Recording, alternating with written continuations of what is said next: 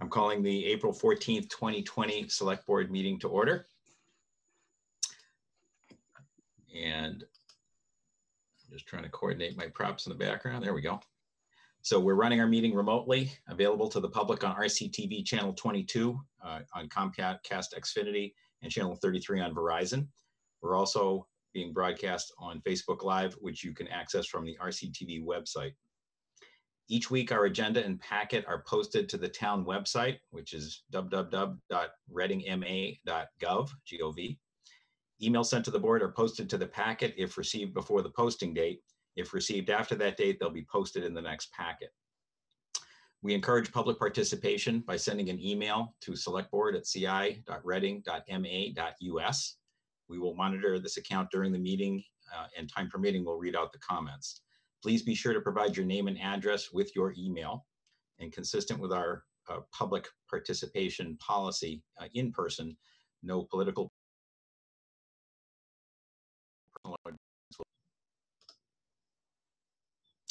First thing tonight, I want to thank our first responders, medical workers, and all essential service employees working in the grocery, pharmacy, food, and other industries who are keeping us safe and with essential services during this pandemic.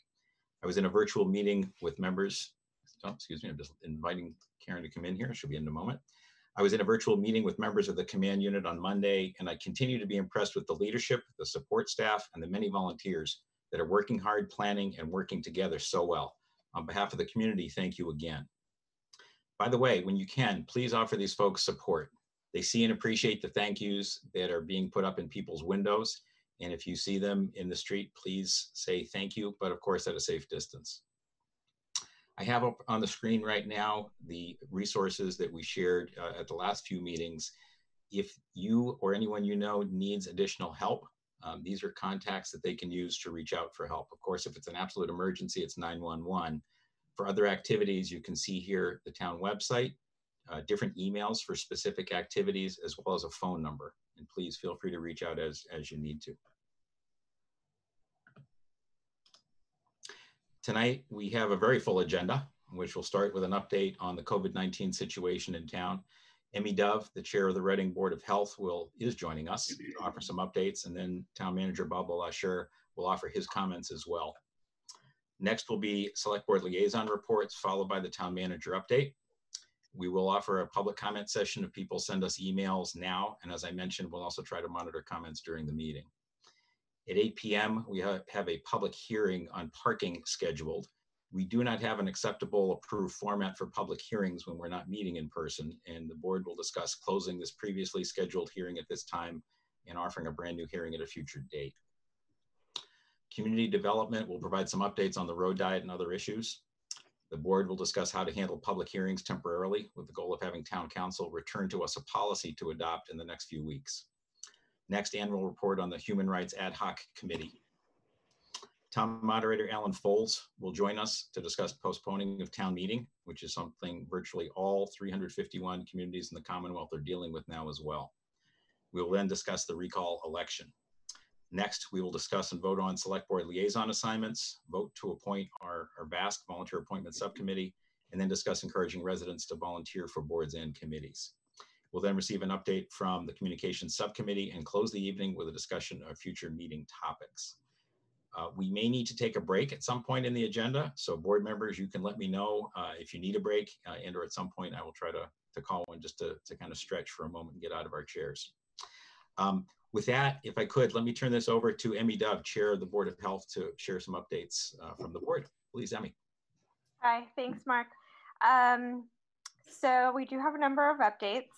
Uh, the first update is on um, Friday, the board voted to require uh, owners and management um, uh, management companies of uh, multifamily residence buildings to um, report or notify residents of um, positive cases uh, in their buildings. So this is uh, primarily targeted at multifamily, larger multifamily buildings with common areas such as um, hallways or uh, elevators. and uh, that notification, I believe, went out. I don't know. yes, okay, went out today. Um, and we supplied a template letter. Um, we want to make sure that obviously patient privacy is adhered to. So um, that went out today. Uh, the second update is we have worked on restructuring our public health response system. So I know a couple weeks ago I mentioned concerns about uh, nurse staffing levels. And uh, last week, uh, fellow board member Kevin Sexton presented um, or updated you guys to let you know that we um, we had access to a larger network of school nurses uh, from our public school system. Uh, so now we've uh, worked on uh, better organizing that. So um, the goal, and we're partway towards this goal, is to have the healthy agent the software reporting system, Maven, and she'll de- be delegating cases, caseloads to various nurses. We have the public health nurse who is Maven trained and has um, uh, login credentials, and we have the director of nursing at the school, uh, Reading Public Schools, uh, who is also Maven trained and has login credentials. So they're going to be doing the bulk of the data management. Um, and then we have two nurses, additional nurses, one in elder services and uh, another one from the public schools who will be trained in Maven and given um, uh, acquiring uh, login credentials so that they can serve as backups in case something happens with our first two nurses, just to make sure that we never have a system where we run out of people who can a- access the system. And then we have additional uh, school nurses who will be doing outreach, which will be the monitoring of um, of cases. So uh, cases in um, those in quarantine. So the check-in, um, uh, the check the check-in requirements. Luckily, the state has actually cut back on the requirements the monitoring requirements for those in quarantine. So actually, we only have to reach out to them once a week instead of daily. So that really cuts down on the workload. Uh, fellow board member Eleanor Shankoff actually had started um, plotting our case numbers so we can see uh, the trajectory. And it appears right now we're on a linear trajectory rather than an exponential trajectory, which is very good news. Hopefully, it continues that way or goes down. Um, so that leads me to uh, reporting numbers. This is something that is, I think, a little bit in flux. We haven't received a lot of guidance from the state in terms of how to report.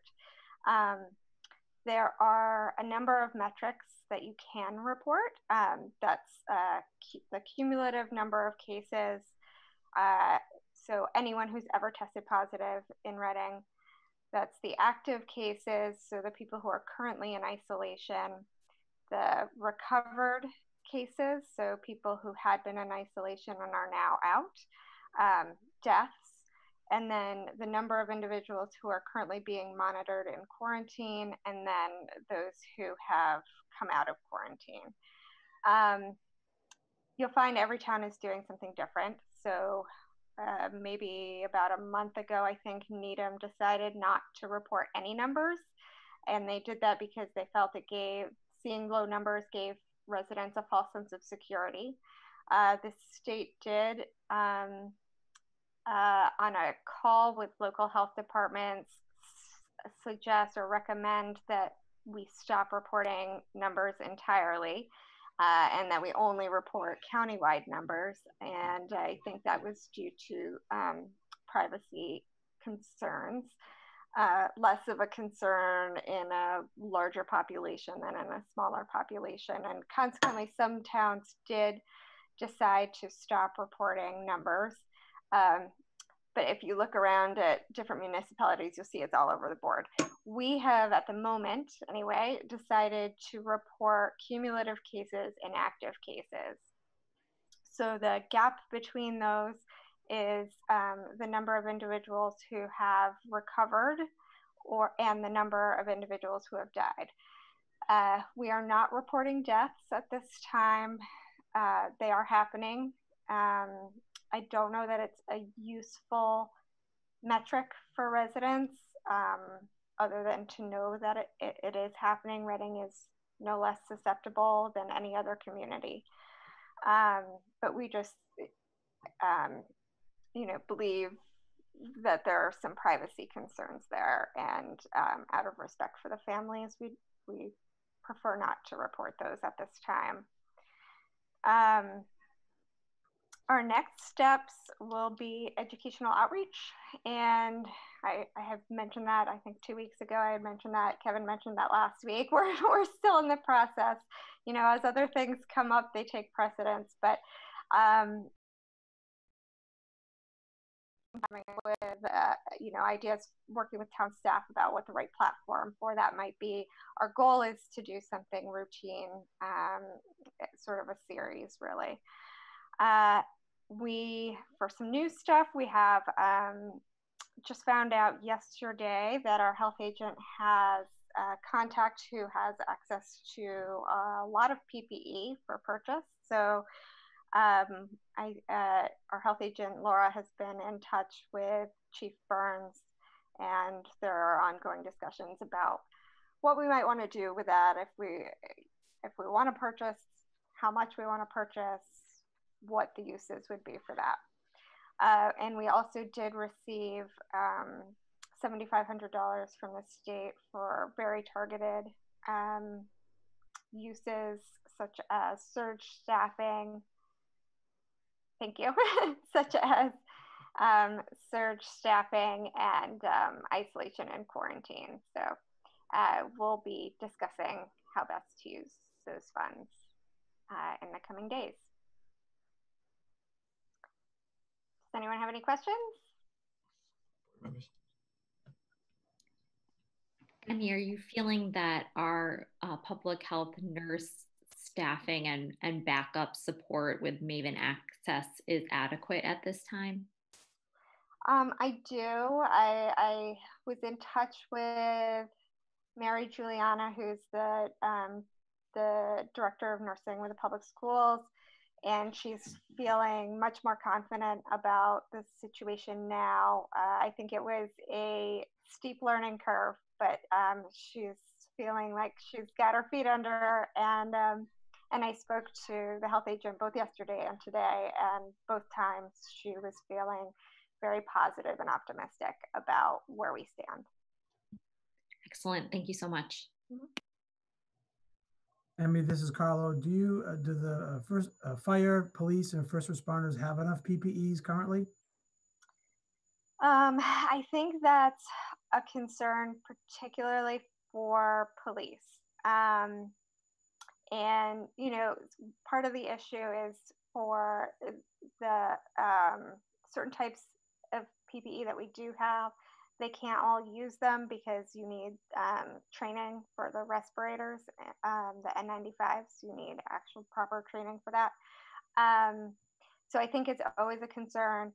Um, I know that they've had sufficient um, supplies to be able to give some to some of the long-term care centers um, who have who have needed them. but but I think it's always going to be a potential issue.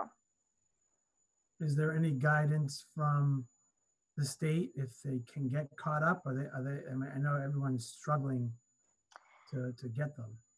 So, um, the state, I don't believe, is providing directly PPE to communities. Uh, I do know that I, so I actually don't know the details on this, and so would have to be a question really for Chief Burns or, or Chief Clark, but I, I, believe there was a PPE survey that went around to um, fire and police.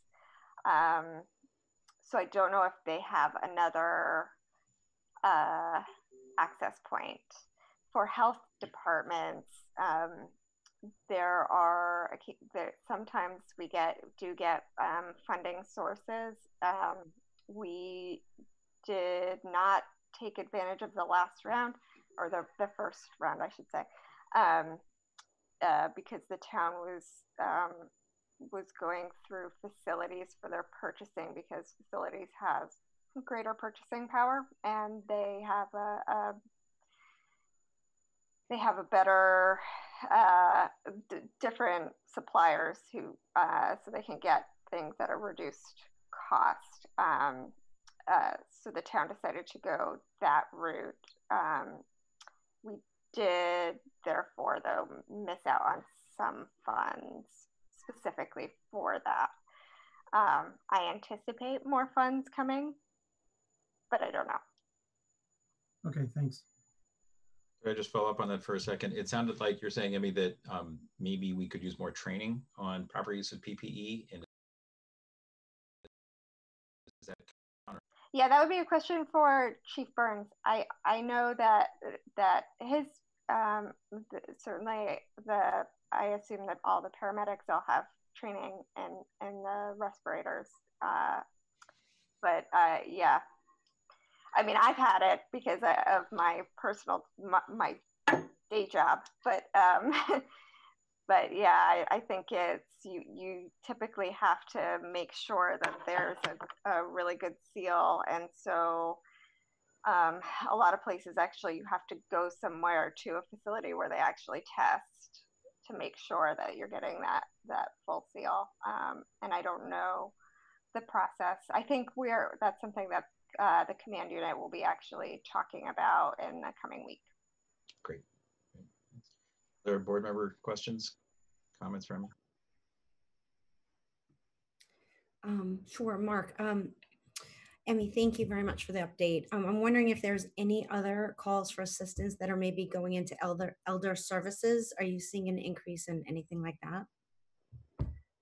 So I don't have a whole lot of information on that. I do know that they've um, had a number of calls. This is probably actually a question that's better for Bob, maybe, but um, um, but I, I, I mean, I, I think they've been working around uh, around the clock.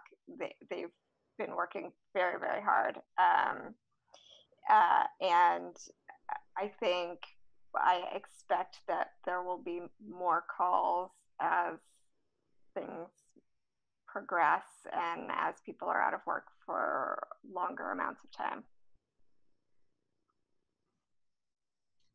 Bob, do you want to pick up on that? Sure. Amy, are you all set? Yeah, yeah, you can go ahead. Okay, thank you. Um, I'll pick up on that uh, first. And excuse me while I just read something from Chief Burns. Uh, and this was in response to uh, a couple of questions from board members. Um, in the early stages, which he points out is the week before last, um, PPE of all kinds was in short supply. Our three elderly care facilities did not have a sufficient supply and we did supply PPE to the staff in these facilities in Reading. We continue to monitor the level of supply to ensure they don't run out. Um, so specifically, that response is for the staff at the elder care places, not for the patients. Uh, that's up to the establishment themselves, depending on the medical condition uh, of the patients. Um, he also checked with fire chiefs in surrounding communities to see what they were doing if different. Um, North Reading um, Melrose, Wakefield, Lynnfield, Winchester, and Stoneham replied. As you know, as you heard, I think it was last week, the Wilmington Board of Health did supply masks to small businesses. Uh, Stoneham and Winchester supplied PPE to elderly care facilities, similar to what Reading did. Uh, Lynnfield and Melrose did not supply any PPE, and North Reading supplied only some disinfecting wipes to a funeral home. So there's a wide range of access to supplies and sort of distribution of supplies. Um, the most important part in the last two weeks, I'll say, has really to keep a care, keep an eye on the elder care facilities with dense just housing.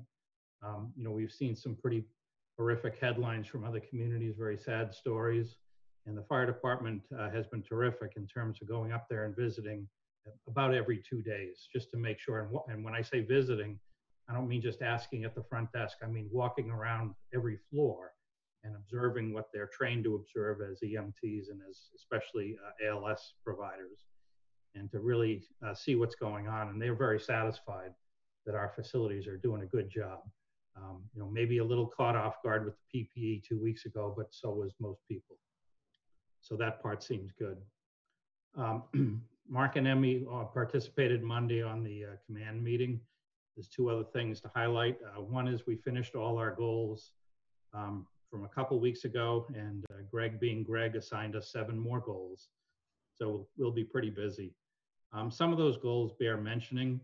Um, it may seem like far away, but there's three community events we need to discuss uh, Memorial Day, Friends and Family Day, and even the Fall Street Fair. Um, I have heard informally at the state level that Memorial Day services are being strongly discouraged. Um, there will be uh, remembrance, but not physical presence for those services. So whether the governor or the state feels obliged to make a further about what the plans in Reading are. And then Friends and Family in June and the Fall Street Fair in September, um, you know, are not that far away from a planning standpoint. And uh, both of those events would gather very large crowds. So it's something to really consider this year. Um, even if um, the predictions for the peak come true in the next couple weeks, um, I can't imagine that by September we're going to be acting the same way we did last September. So I think there's still going to be a lot of caution. I know some of you over the weekend and early in the week have seen that some of the colleges are already thinking about postponing on campus semesters for the fall, because again, they really need to plan far and ahead. Um, so if they're thinking that way, certainly a fall street fair in September has to be a question. Um, the other thing that uh, is a large goal, and this is on the optimistic side, is a demobilization plan, or in this case, how to reopen, how to deal with the reopening whenever that happens. Um, we discussed at great length, and I won't go into it here, how to handle the businesses that reopen and the health inspections that will be needed. Um, that will be tricky. Um, the nurse issue, I think we handled pretty well and had a plan all along. I don't have a particularly good plan on how to help in this one. Um, we are going to need um, probably more uh, health inspection personnel than we have access to uh, if all the restaurants are suddenly going to open in a short amount of time. Um, and the other thing is how to reopen town buildings to the public. And that's something that uh, town department heads will be asked to think about over the next uh, couple weeks. Um, we know for sure that nothing is going to change at least through the 4th of May. Uh, we believe the governor and the um, state will make some comments about school in the next 10 days, perhaps even later this week. Um, and one of the options is to bump that day out. Uh, if that date is bumped out, undoubtedly all the rest of the um, proclamations or, or orders, or rather, will also be moved out. So right now we're looking at three more weeks, and again, you know, stay tuned in the next few days to see how far that goes. Um, uh, I'd also like to thank, um, I was going to do this as part of my town manager's report, but we have received in the last two weeks over $5,000 of donations from residents. Um, extremely generous. Um, I don't want to violate privacy, but some of the comments that have come along with them have been really quite um, quite humble. Um, there's one family that is affected by this issue deeply, but they wanted to try to help other families prevent it. So they wanted to give money uh, for food and other needs. Um, a couple of residents specifically wanted to donate to first responders to public safety, and um, I asked them just to give to the food pantry. Uh, between the food pantry and Reading Human Elder Services, a lot of meals are being given out.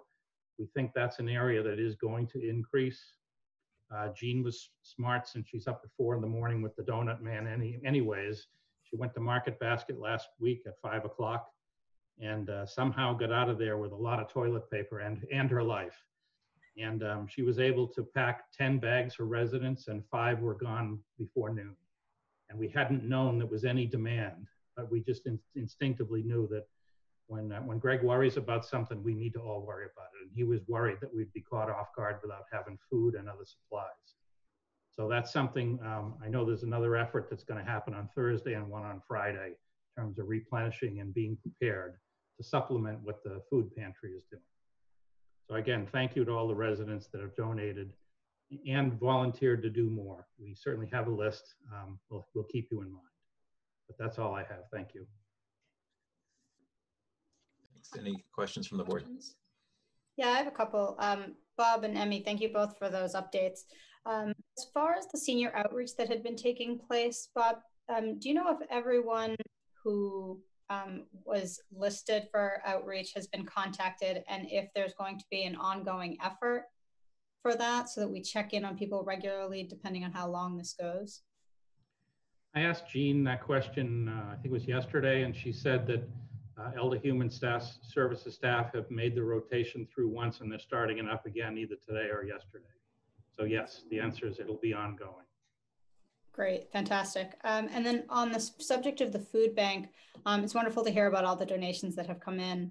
Um, what is, do you know what the food bank will be doing to support people that are um, going to be needing services um, in the coming weeks or months as people's circumstances change, um, will they be able to apply for those services?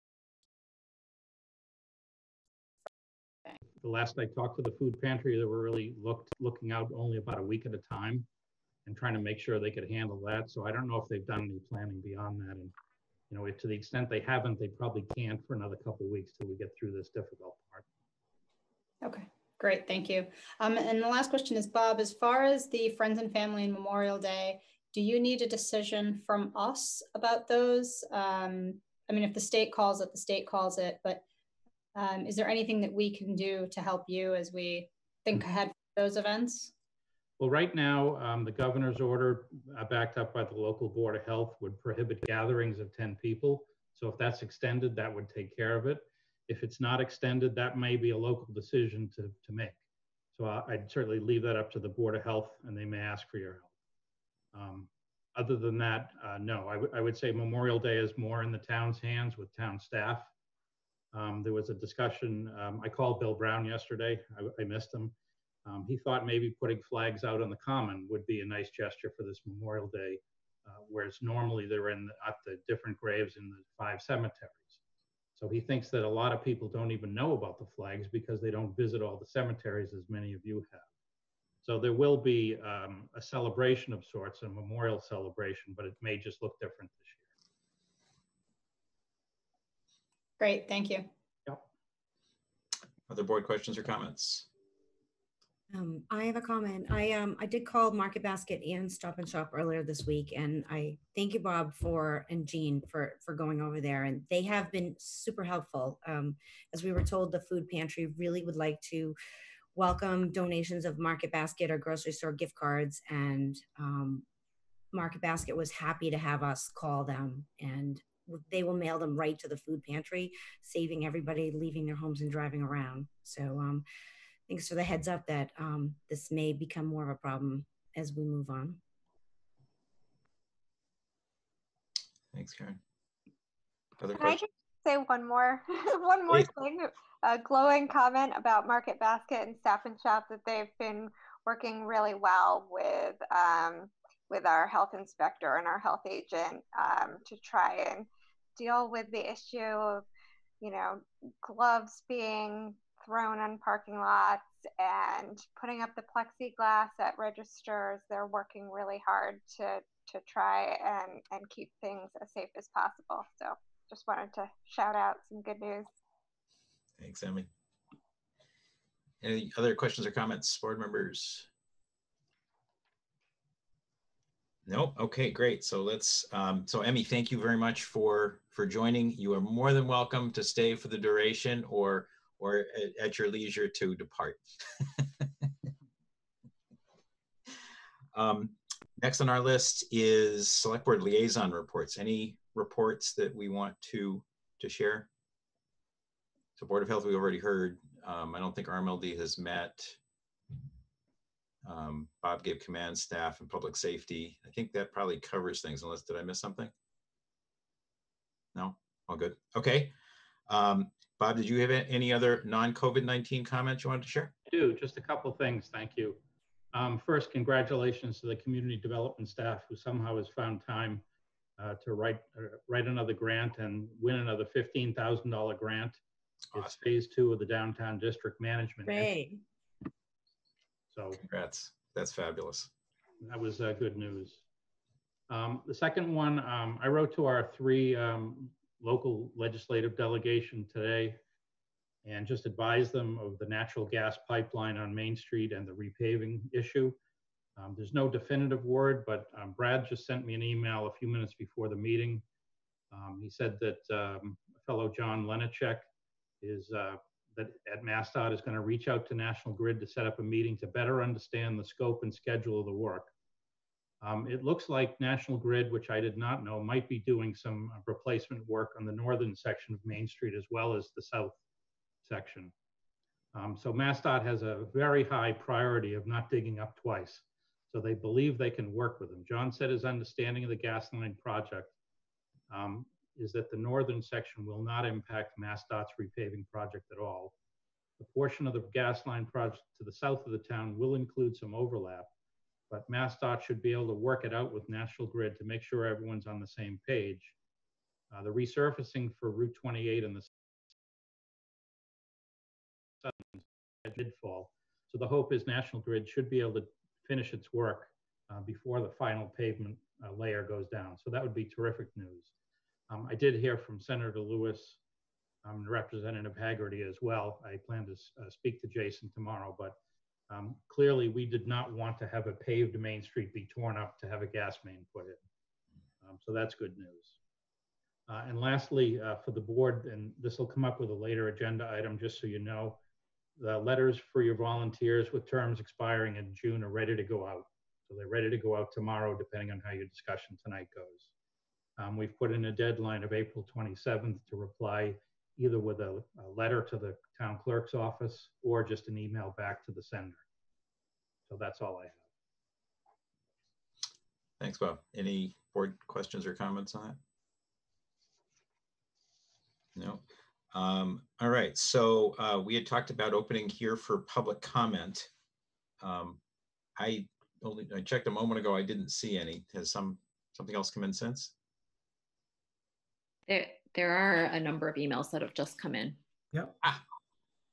Okay, so let's talk a little bit. How do we want to to do that? Do we want to um, I did to select someone, perhaps uh, well, anybody, to read and uh, indicate the person, the address, and the comment? And read Want that to into go the in record. Mark? I'm sorry. To the extent they're relating to the recall petition, should we reserve those for the discussion of the recall election? Um, I think that's fine. I think that would that would make good sense. I think that'll, um, as we're having that discussion, then bring those comments in, allow for that. Is, are other board members okay with that? Sure, that's fine. Okay, There may be some that are not related. Uh, I think there may be one or more that are not. great. So I'm I'm not seeing them. So, um, Anne, do, do you want to uh, read some out? Sure. I believe the one email that looks like it is unrelated uh, to the recall election that has just come in is uh, suggestions from Timothy Kerwin uh, on, um, and it's titled Suggestions. Um, it says, put the speaker's name and title on a scroll as they present. Uh, I assume this would be Mark for, for perhaps for next time. Um, but uh, I'm sorry, let me just read verbatim. Put the speaker's name and title on a scroll as they present. Add the email address for public comment to the screen as a hot link. Will all licensed food and beverage businesses require reinspection before opening? Do we have the bandwidth to expedite this? The recall is late in the agenda. Of, well, it's all part of one email. The recall is late in the agenda. Personally, I hope it fails miserably. Just vote accordingly unless the issues arise to malfeasance or other legally documented offenses. Tim K, 48 Hanscom Avenue, Reading, Massachusetts, um, 781 942 2360.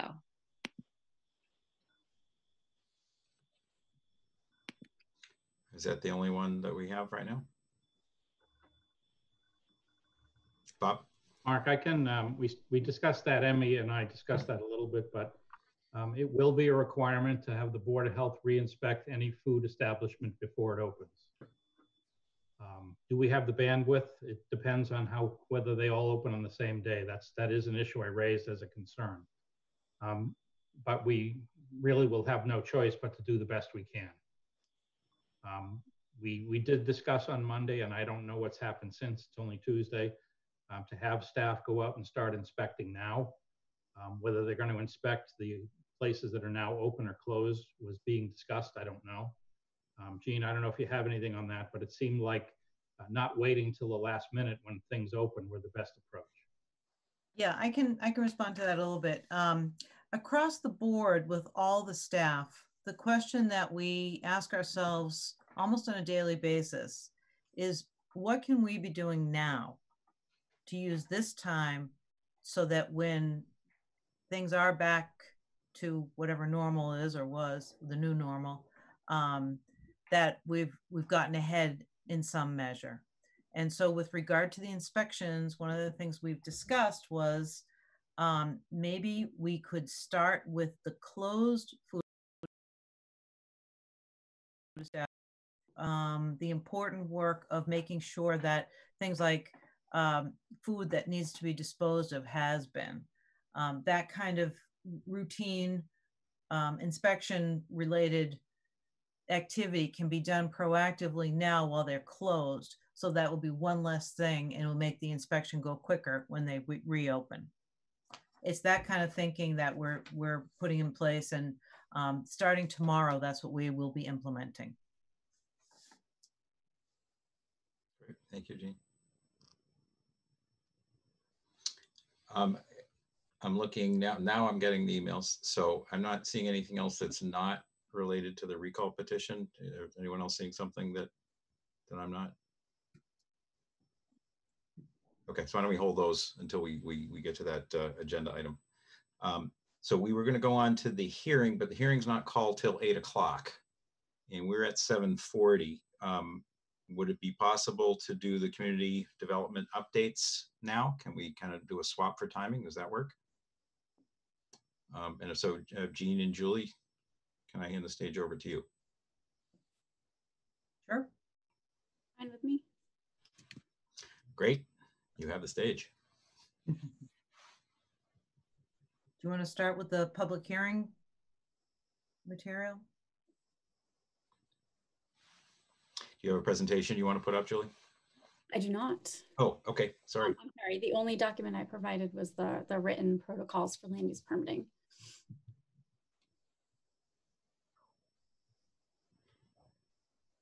So, so do you want to start with that or do you want to start with hearings in general or? I say, Julie, for your benefit, since um, we never see each, see each other anymore.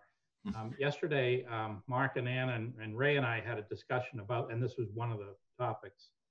And Miyares and Harrington will work to develop a single policy for all public hearings to the extent that's possible. So Ray knows full well that you folks with Chris Heep have really only worked on land use boards so far. But he, he, he couldn't think offhand why it wouldn't be possible to just expand that policy to all boards appointed by the select board and their public hearings, just so you know. Okay, thank you. So I don't know if you had a chance to review the document that I prepared, but part of the reason that it took so long for it to come out was because we were kind of waiting to see what the state legislature would do. And I believe um, it was last Monday that they signed, that the governor finally signed the legislation. I, time is like totally strange concept now, but I think it was last week. So we worked, we, we were kind of like thinking about things and I was reaching out to applicants and the chairs of the different committees and commissions that are under the land use um, community development, you know, purview.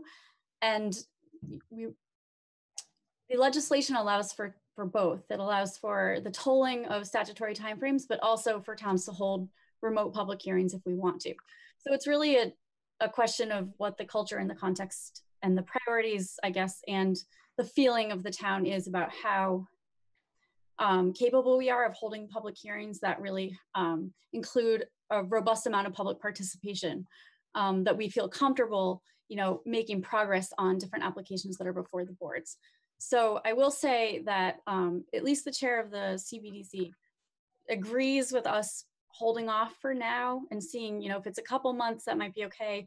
If this extends, you know, four or five or six months, maybe we revisit it.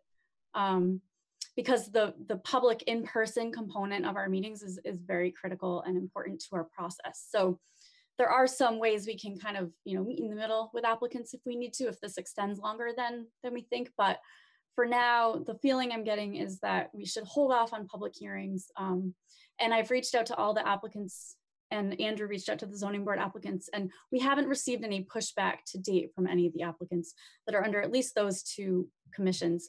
Um, conservation has had two meetings since we've been working from home um, because they, they were dealing with a slightly tighter statutory timeframe than you know the zoning board and the planning board, um, community planning and development commission.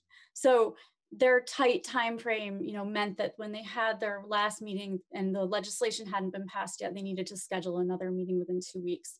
And so that meeting was last week, it was the 8th, and they went ahead with that. They did easy business and continued a bunch of other more challenging hearings um, to May without discussion. So they were kind of working to get on the same policy or protocol that we were working on together so that we would all be kind of unified um, the CPDC had, was supposed to have a meeting last night. All the applicants willingly, without any questions really, continued to May 11th. The zoning board was the same. The applicants were perfectly amenable to it. And we let them know that, you know, for the May meetings, we will consider doing them remotely if we feel that we can get the kind of public participation that we should and that we're used to, and that Reading really prioritizes. So that's kind of a discussion point, I guess. Um, and, you know, we can, I have some ideas about some things we can do to um, have that participation be better or uh, at least more, maybe more inclusive um, and, and some ideas about how we can start processes for applicants if needed. Um, but I'll let you chime in on what your thoughts are. Great, thanks, Julie. So um, if I'm just kind of wrapping around for a second here, the notion would be to um, not hold public hearings at this time um, unless there's some extreme circumstance that, that really forces it forward in terms of um, the needs of a, a, project or some other thing. But a lot of the deadlines, as far as the state's concerned, um, we're not getting backed into a corner on anything. Right. So the thought would be to not hold public hearings until we can do them in person, assuming that we're able to do that over the course of the next few months. And if it lasts longer than that, we'd come back and say, let's let's figure out some other method of doing this. Right. And I mean, even we, we can discuss even trying to aim for remote meetings in May if we want to. We we, you know, we're able to to applicants were amenable to pushing off through April, um, and they didn't express any issues with pushing off further if needed. But you know, it, because the legislation was just approved last week, it was kind of critical that we figured this out quickly for the meetings we had this week.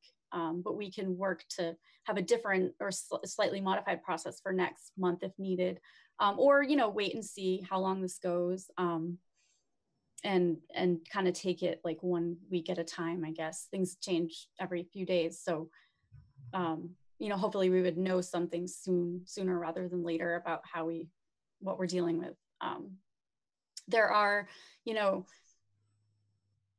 some towns are like I was looking to see like what are other towns doing, um, and some towns are just going ahead like business as usual. Some towns are dealing with the open hearings, but no new hearings.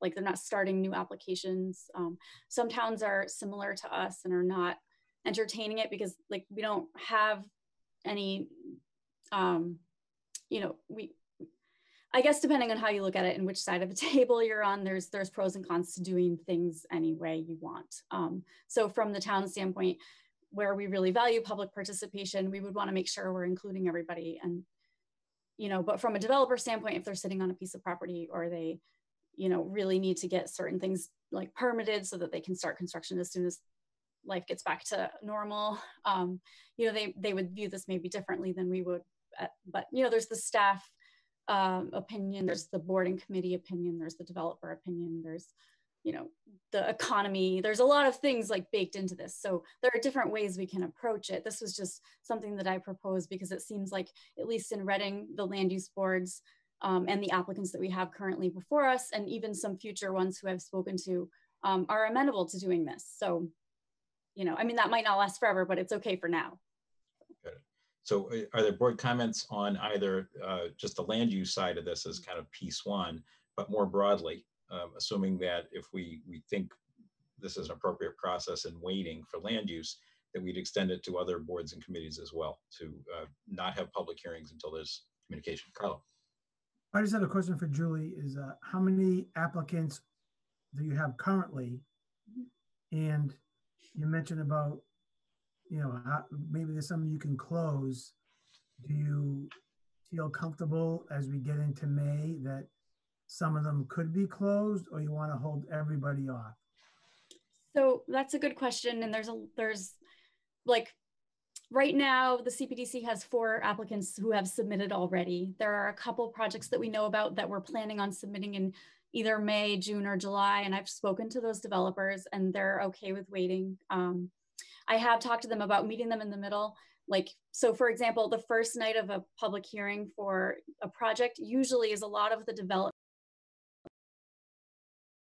and the board asking questions. There isn't a lot of public participation usually that first night. Um, so that is something like if this extends a long time or if a developer is really anxious to get going, that that um, at least the CPDC chair is interested in entertaining that um, meeting in the middle kind of approach where we would start the hearing that first night to make some progress and then you know see where we are in a month or two and and wait um, until we can be, be in person. Um, they I will say with regards to closing things out, um, there isn't a very high comfort level with doing that remotely. So they, so one thing is if we started it remotely, we would want to make sure that like, applicants know that we're not going to do the whole process remotely. There will be at least one opportunity for the public to be in the meeting room in person. Um, so that could, in theory, extend something out many, many, many months, um, depending on where this goes. Um, but I mean, so so it's like a, what I'm trying to impress upon you is that it's it's in flux and it's kind of a it's there's a little bit of art and a little bit of science to it. So we it's not this this protocol is kind of like for right now getting us to May and it can be revisited and rethought and you know it can be flexible. Um, I will say that I would caution that if we had a project that we felt like we want like really needed to get going that if we extend that offer to one applicant we would want to make sure we do that for everyone so um, just so we're being fair and above board but i would say that the board should not do an entire public hearing remotely um, and that's the opinion that i've gotten from the chair of cpdc and that's i think that's a good opinion um, so no thank you is for from your experience with the town, is four at this time of year uh, an average number, a high number, a low number? It's pretty average, I would say. Um, two of them have been ongoing for a long time. Uh, one of them, the applicant was the applicant's engineer was out of town since December, so they like literally the last time they were at CPDC was December, and they continued to April, like knowing that you know, so that that was, and then there's been another one that was waiting to see if there's some zoning changes would pass at town meeting and they may redesign their project. So that one's been continued for many, many months. And that developer I spoke with yesterday and he's totally fine with waiting a couple more months if needed. Um, and I, you know, or he may come in with a concept review. That's another thing that I, that I, sorry to jump around, but the CPDC could also entertain like a concept review of something, um, which wouldn't require a, a, legal ad or a notification to abutters because it would literally just be a concept and they would be providing initial feedback to an applicant so that they could at least get going during this period with some guidance on, on what the full submittal should look like. Um, so, but yeah, so four is is pretty normal, I think, and a couple of them have been ongoing a long time. No, thank you. Yeah, the, the, and I understand what's going on, and it seems like you have a good handle on it. So anything that we can do, it would be great. And it seems like everyone's on board with, you know, guidance and waiting till May, and then take it from there. Thank you. Any other board member questions or comments? I have a comment. um, thank you, uh, Julie, for coming up with solutions to this problem. Um, I know even with an average caseload, these processes of working through the CPDC and ZBA and the other conservation hearing processes usually are quite time consuming. So um, I think it's also wonderful that you were able to reach out to them personally. I know a lot of people are just getting emails, oh, you're canceled. This is canceled. That is canceled. Um, and anybody who who sat in through the uh, Board of uh, Registrars meeting where Attorney Miyares was in the meeting and sort of giving examples about how difficult to do a good hearing it can often be. Um, I'm glad to hear, you know, your urging caution and um, your point about being um, consistent across the board and the issue of um, fairness is, is well taken. So thank you. Other board questions or comments? I, I see Erin, I know you were, you were listening for a little bit. Any Anything you want to add to the discussion? No, not right now. Okay, great. Um, so board members, I guess what we probably should think about here is at least a, a near-term policy. I think we would ask Ray uh, probably to work with Julie to put together a more formal policy about this. And also to allow that if there are exigent circumstances or some major uh, you know obstacle or or deadline of some sort that uh, there would be kind of a way to come back and, and see what we could do. Is the board comfortable with with kind of giving that direction at this point? Yes.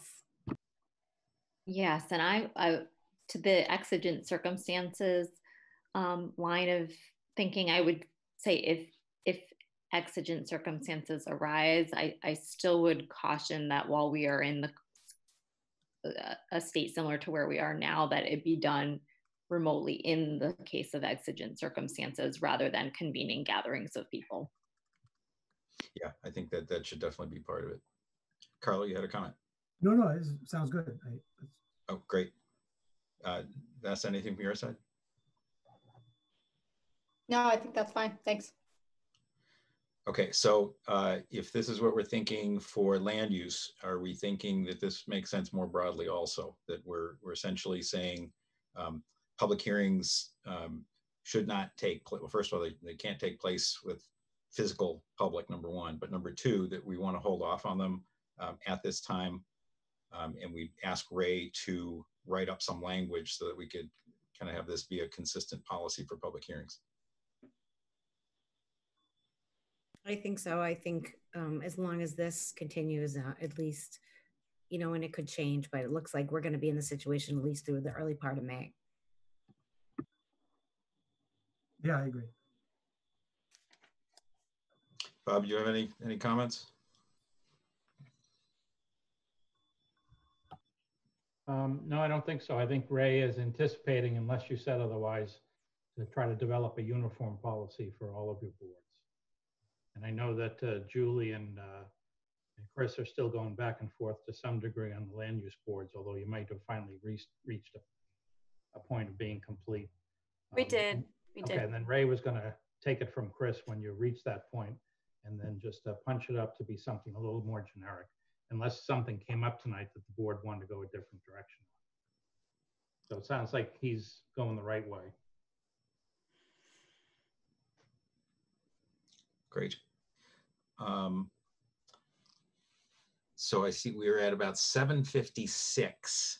So I also, Mark, Mark, if I could, um, we had asked Erin just to give a kind of a business update. It's not technically on the agenda other than just under community development. So certainly Erin could do that. please, And for. Erin's benefit, um, just a little while ago, I, I received some correspondence from Brad Jones that I've sent to you. Um, it appears that uh, MassDOT and National Grid will work this out and not have to pave Main Street twice, or at least we'll hope so. Thank you. So Erin, to you, please. So I just wanted to briefly let the board know about this, uh, my updated business support letter, which I'm actually working on another version um, for tomorrow. Um, and I just want to let everyone know that that is available on the Town of Reading's website, um, which is the on the economic development page, can be accessed multiple ways, including on the homepage of the town website under the economic development button. And on the left-hand side of the economic development page, it's called Updated COVID-19 Business Support and Resource Letter. And there are many, many, many resources there along with summaries. So just wanted to let the board know what I've been up to for the last couple of weeks. Um, quickly in bulleted list here, it's also written out in my letter. Um, I've been participating in statewide weekly calls with Lieutenant Governor Polito, Secretary Kennealy of the Massachusetts Department of Housing and Economic Development, Secretary Acosta, who's the, um, the Secretary of Labor and Workforce Development. Those calls have been incredibly helpful. Um, they've been vital for receiving important information about available state and federal resources that are available for small businesses and employees. And I'm getting weekly updates kind of behind the scenes of what's happening. And I'm pro providing that information in this business letter as well. I'm also participating in region-wide weekly calls with Mass Hire Metro North Workforce Board um, to review state initiatives and services that are provided to employers and also to job seekers in the region. Uh, there are, believe it or not, uh, businesses that are hiring, and I to also know that that resource is available um, as well. I've also been consistently communicating with Lisa Egan, who's the executive director of Reading North Reading Chamber. And I've been participating in the Reading North Reading Chamber regional conference calls regarding business resources and making sure that our businesses in Reading um, are also getting information um, I've been participating in professional trainings and webinars through the Urban Land Institute and International Downtown Association, specifically to learn how real estate um, related sectors and downtown nonprofit organizations and municipalities are responding to economic development needs in or around our region and also nationwide. And internationally, which is really interesting too, Canada has um, some really good examples through the International Downtown Association um, and I'm really thinking forward about how we might be able to reopen in the future and what that might look like for Reading. And I'm really hopeful, even though this is a really horrible time. Um, but I do think that we were on the right track to be successful as the town. I think that we'll continue to do so, and the things that we had planned um, will be something that we can pick back up again, um, just with a little bit of a twist and being mindful about um, what reopening may look like for us. Um, it'll be slow, um, but I think generally I'm, I'm pretty positive that we'll be able to come together and um, help each other move forward. Um, I've also been individually reaching out to businesses. I've touched over 100 businesses, which has been great. Um, and I'm providing additional information resources that may be needed. And I'm following up with those businesses um, I'm still working down my list. I haven't touched everyone by any means, um, but I am reaching out. So um, anyone who's listening, who's a business who needs help or resources, I'm here and available and happy to talk people. And I'm also updating the website in collaboration with other town departments. So that's my quick update and uh, I'll leave it at that.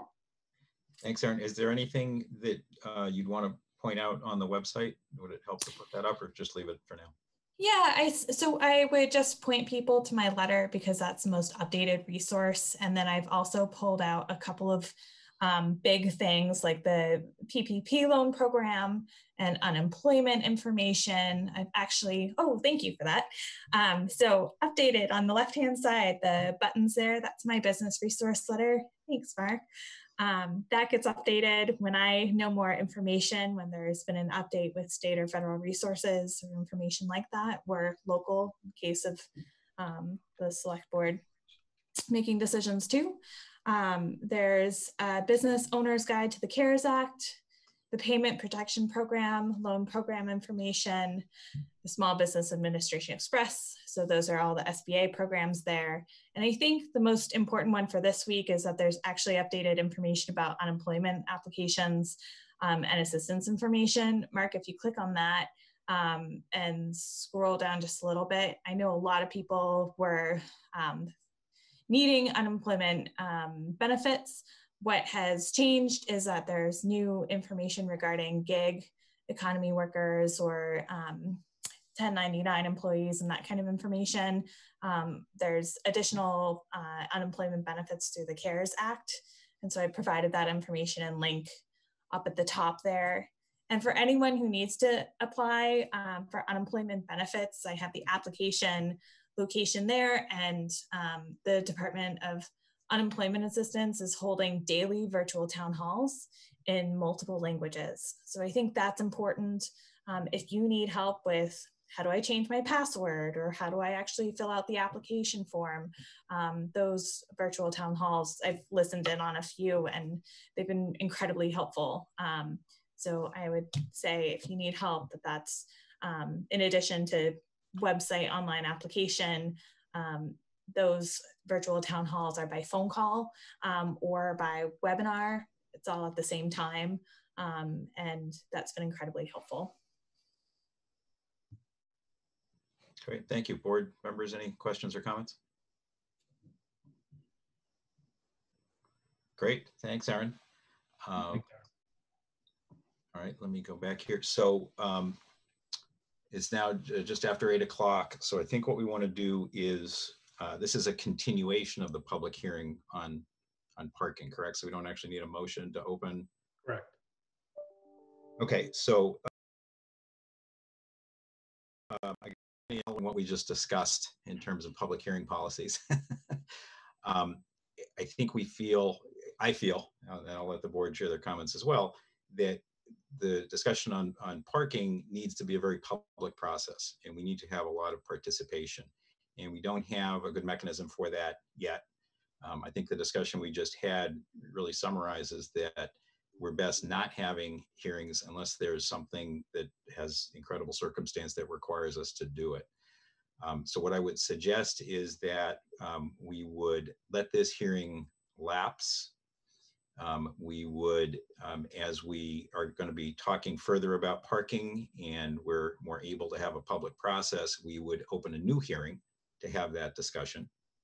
Um, and the only question I guess I would ask before moving to that is to ask uh, Julie, Erin, Jean, is there anything that is you know direly required right now on on parking that should be discussed or are we in a position to kind of uh, let this hearing lapse i can answer that um, i think that you're in a position to let it lapse i think though that given the implementation matrix that i put forth um, for the march meeting that didn't happen or, or was continued or whatever um, that it would be good like if you're if we're thinking still about January 2021, um, we will need some decisions to be made in September, but I don't think that anything necessarily needs to happen between now and then. Um, you know, if like like the other hearings I talked about, if this state of emergency continues for many many months, we might consider starting it or restarting it remotely at some point in July or August, if the goal remains to do something by January 2021 at this point. So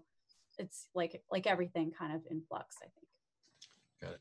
Board member comments anne no comment. Oh sorry. I, I saw the microphone go. Any other comments from from board members? Any thoughts on this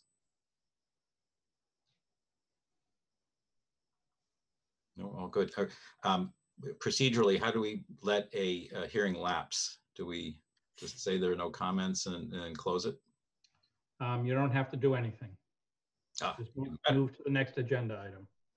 You don't have to close it. Oh, okay. No, you just take no action. I, I can make a suggestion about that real quick, um, which is something that we'll do for the land use boards. Like, so if and when the hearings, well, when the hearings are held, whether remotely or in person, we, we, our plan is to re-advertise and let abutters know. Like, so if they've been waiting or thinking we're not doing things until town hall opens and we decide to do it early, or if so many months go by, they get like re-notified that, that it's starting up again. So that's something we could do with downtown parking as well. I would suggest it. Great, great. That would be great. Okay, thank you. So we, we, we've let that happen. Um, so uh, back, uh, Jean, Julie, uh, any updates related to MassDOT and the road diet uh, or any other items that you guys may want to update us on? I think Erin has that update for us. Ah, sorry. Yes, I do. Let's see. so I'm not sure how to best send um, this information or links to this information. Maybe I can send it to you, Mark, and you might be able to get out to everyone. Bob, it's the same uh, links that I sent earlier today in my email to you and Jean. Um, so anyway, I will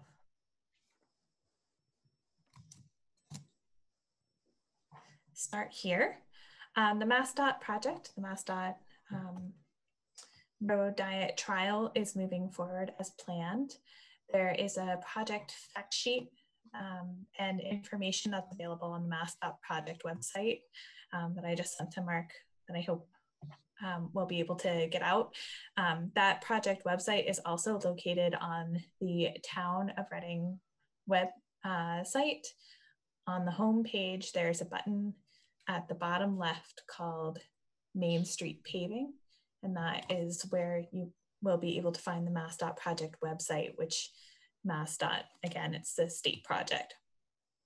There's also an open house presentation that was just posted on April 10th from Andy Paul, who had presented at um, Andy Paul works for MassDOT. He's an engineer with on this project, and um, he has provided a slide explains the project. I think that's a really helpful piece of information.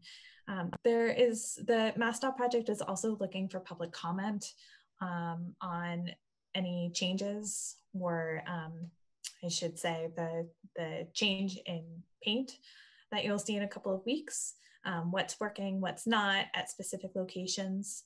Um, there is an interactive mapping tool to be able for the public to be able to submit a comment uh, to the project team. And I think that's actually a really interesting and fun tool. You can put in your address and tell the team what you're seeing and what you want. Um, and that's really helpful information, on the ground information to be able to give to the project team. You can also reach out directly to the project team, Route uh, 28 pilot at dot.state.ma.us. And again, we can get that information um, out to everyone. Uh, let's see. In general, the project team is seeking public feedback. Um, please know that we've talked about lane reductions, um, but the roadway layout will actually vary along the corridor. There are plans for um, specific and particular sections of the road layout that are also available on the Mass dot project page. And um, that's really helpful information. And I know that there were some questions regarding um, bike lanes and that kind of thing. And what I wanted to say was regarding bike safety, there are different levels of risk um, that different bike riders are willing to take. And MassDOT calls this a level of comfort. Main Street, Route 128 or 28 is currently a really high stress situation where maybe advanced riders or confident riders might take a risk and ride on the roadway. Um, but with roadway improvements, such as designing a roadway to slow down car speeds or having pavement markers um, that visually indicate space for bikers, these physical changes reduce stress and risk to cyclists. So even though the central goal of this project is about vehicular safety, a reduction in car speeds and severity of crashes is the central goal, but that will also be advantageous for all roadway users, including pedestrians, cars, and bikes. Um, so I did want to echo um, or share that information. So again, the main goal of the project is to reduce the number of car crashes and severity of crashes along this heavily traveled corridor. And through this project, um, the state is testing new infrastructure elements, really changing paint locations in the existing roadway with to slow down vehicle speeds and simplify left turns. Um, thank you, Mark. This is um, the project website here. And scroll down. This YouTube video is new. This is a full presentation that was uh, given at um, the Reading Library um, and a business meeting. It was modified after that business meeting. Um, the plans had changed um, to actually take away the bike markings in the shoulder, um, that the five foot shoulder that's indicated. there still will be a five foot shoulder that bikers can bike in. Um, at this point, the project team has taken away that um, bike symbol um, out of the plans at this time due to feedback um, received at the business meeting. Um, so anyway, that's the road diet video there. And Mark, if you scroll down a little bit more about, you can contact the project team directly with contact information down at the way bottom, but with, yeah, the about the route uh, 28 resurfing and road diet. This is really helpful information here. It's general project information, project area with a map, the pilot lane configuration changes, the project schedule, public outreach and involvement, and again, more contact information. Um, obviously, because of our limitations here and seeing people physically, um, we can't have physical meetings with lots of people. Um, that presentation that I just pointed out is really meant to take the place of that uh, March 24th big open house that we were trying to plan. Um, and we have some really cool um, new mapping tools that MassDOT is actually trying out on our project here um, by working behind the scenes. So there is um, a mapping tool that I'd like to get to keep going down to the down. schedule. A little bit. Right there. So this is really awesome. Um, the project team really wants to hear from you. And the way to be able to do that, there are several ways of being able to engage with the project team a little more indirectly, but also specifically, um, is this mapping tool where you can enter your address, whatever the address might be. So I don't know, 210 Main Street, something. Street, put in Reading, Mass. And then search. And you can zoom in just a little bit or a little bit more. There you go. And what we're seeing here is the proposed layout at that particular location. And if you have a comment about that new paint on the roadway, you can enter your comment below in the next comment box at number two. And scroll down a little bit in the website and Mark, you can write test or whatever you want to put in there. Um, so we can tell the project team that we're actually testing this when they get their comment and I'll review them on Thursday. And then in number three, select any of the following topics that apply to your comment. You can select up to three. And continue. And then this is some more information, put in your zip code and you can, and your last name is required. Do you have specific questions or concerns? And then continue. And again, it's just some information here, your name, your email address of the project team. If you'd like the project team to come back to you, you can uncheck subscribe to future updates on this project, or you can sign up for future updates on the project and continue. So I'm meeting with the MassDOT team on a weekly basis on Thursdays, and we are consistently reviewing information received by the public and consistently coordinating um, our communications. But I wanted to point out this tool that's really awesome. I hope people use this. Um, it's a way to be able to specifically click on a specific intersection. Um, you can let the MassDOT team know that you were in a crash there 10 years ago, or, you know, or this works really well, for example, or, you know, that kind of level of information is really helpful for the team as they move forward and evaluating. It's one mechanism that the, the team is using to evaluate the project. Um, so there it is. I hope that's helpful. Thank you. Um, Erin, could you just comment very briefly on the latest information that we have on when things are going to happen and where, like this week and next week, that, that kind of immediate sort of stuff? Yeah, sure. Let me see. I know that there are signs that are already out And I know milling and paving is starting, I think, this week um, at night, is my understanding. And Yeah, I have an update. As much um, information. They, they just asked for permission to work during the day instead of night.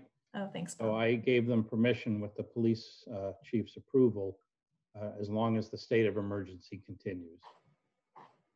Thank you, Um, So they'll be working during the day on both north and south sections. And I also just got clarification. um, It's great having this real-time information. Our town engineer confirmed the uh, gas line work on the northern section is very small. It's uh, really just at one intersection.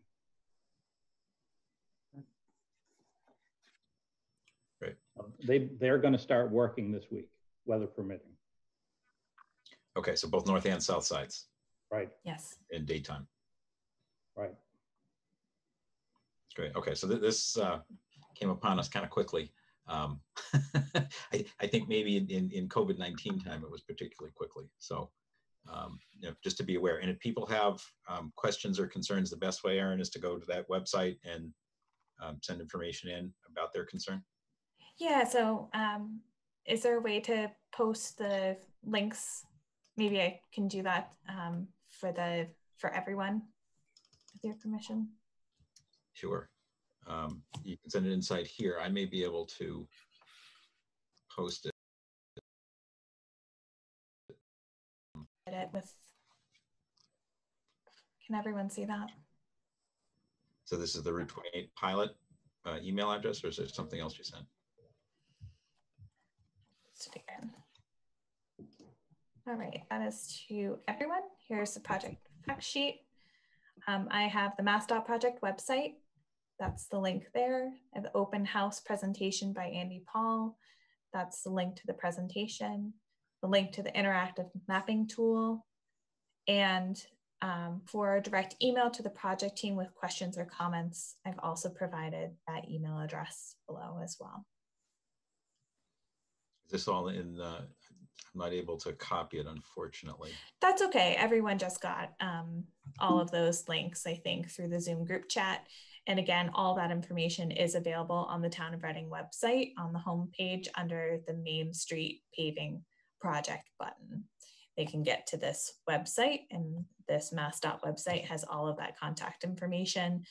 Um, there's the project page. Can people watching at home see the chat? Um, I don't know. That's a good question. I don't believe so. No, they can't. Okay. Um, I think If you can, um, Erin, if you can email, uh, just send me a quick email with that information, then I can do a copy paste and I'll put it into a slide. And then I can put that up on the screen. sure. I, I know it's clunky, but No worries. Apologies for not having this done ahead. Um, Um, if I may, Great, there were, there was a post of this on the Town of Reading Facebook page today, very helpful, but a lot of anxious people and questions. And I was wondering whether you might want to put a link directly to this really neat opportunity for people to provide specific feedback yes, on the Town of Reading Facebook page. I think that would make a lot of people happy. sure, no problem. Thank you. Erin, I have a question for you. Um, one of the issues that was raised was that there was concern about traffic going out into um, neighboring areas or streets um, as people try and avoid 28 with this change. And part of the trial was going to be um, a study to see how neighboring streets were affected with traffic obviously being significantly less right now and the summer generally having less traffic.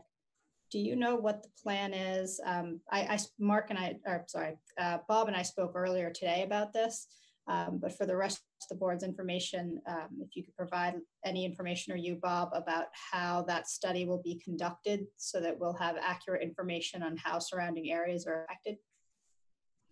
Yeah, I'm. Uh, that's something that the project team is still looking into right now. That, you know, MassDOT is looking at a variety of projects, not just ours.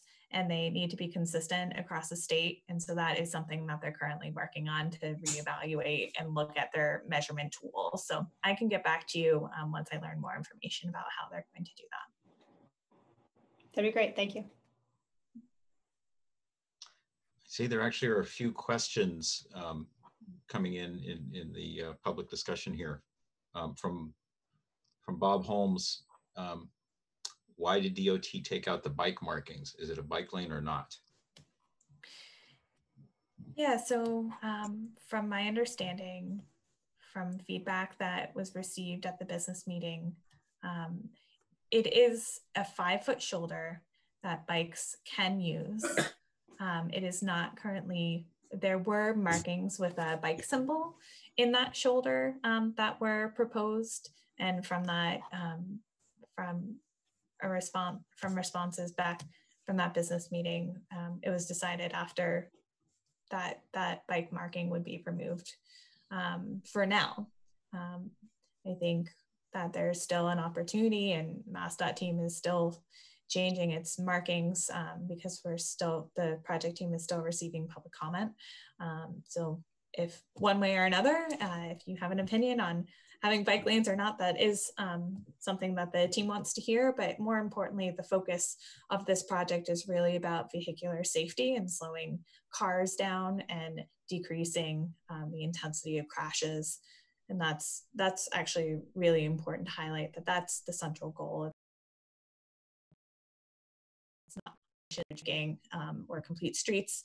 It, this project is really about vehicular safety. Um, there's a message from Mike Monahan, Bancroft Avenue. Why are they reducing the number of lanes for traffic on Route 28 with no input or hearings from the public? Input into a website is not sufficient mechanism for public input, in my opinion. I'm very opposed to anything that makes traffic worse on Route 28.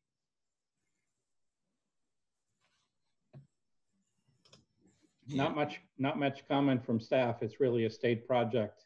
It Um, is. The public needs to let the state know what their feelings are. Mhm. And we did have a fairly robust public outreach effort um, that was impacted by what we're going through right now. Uh, there's another note here from Bobby Botticelli, um, Colonial Manor Realty. I don't have the exact address here. Um, I attended the first non-publicized road diet meeting. There were only a small handful of abutters in attendance as it was not advertised. We were assured that nothing would happen until there was a public hearing. Since public hearing has not taken place, I asked this project be on hold.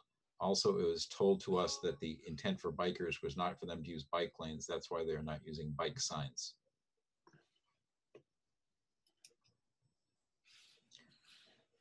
Folks, did I miss any other comments on this?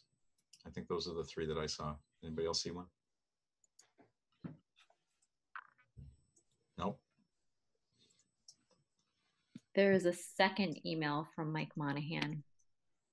Um, dated or at eight fourteen. Uh, Route twenty-eight traffic for cars is already awful. Why make it worse with fewer lanes? Mike Monahan, Bancroft Avenue.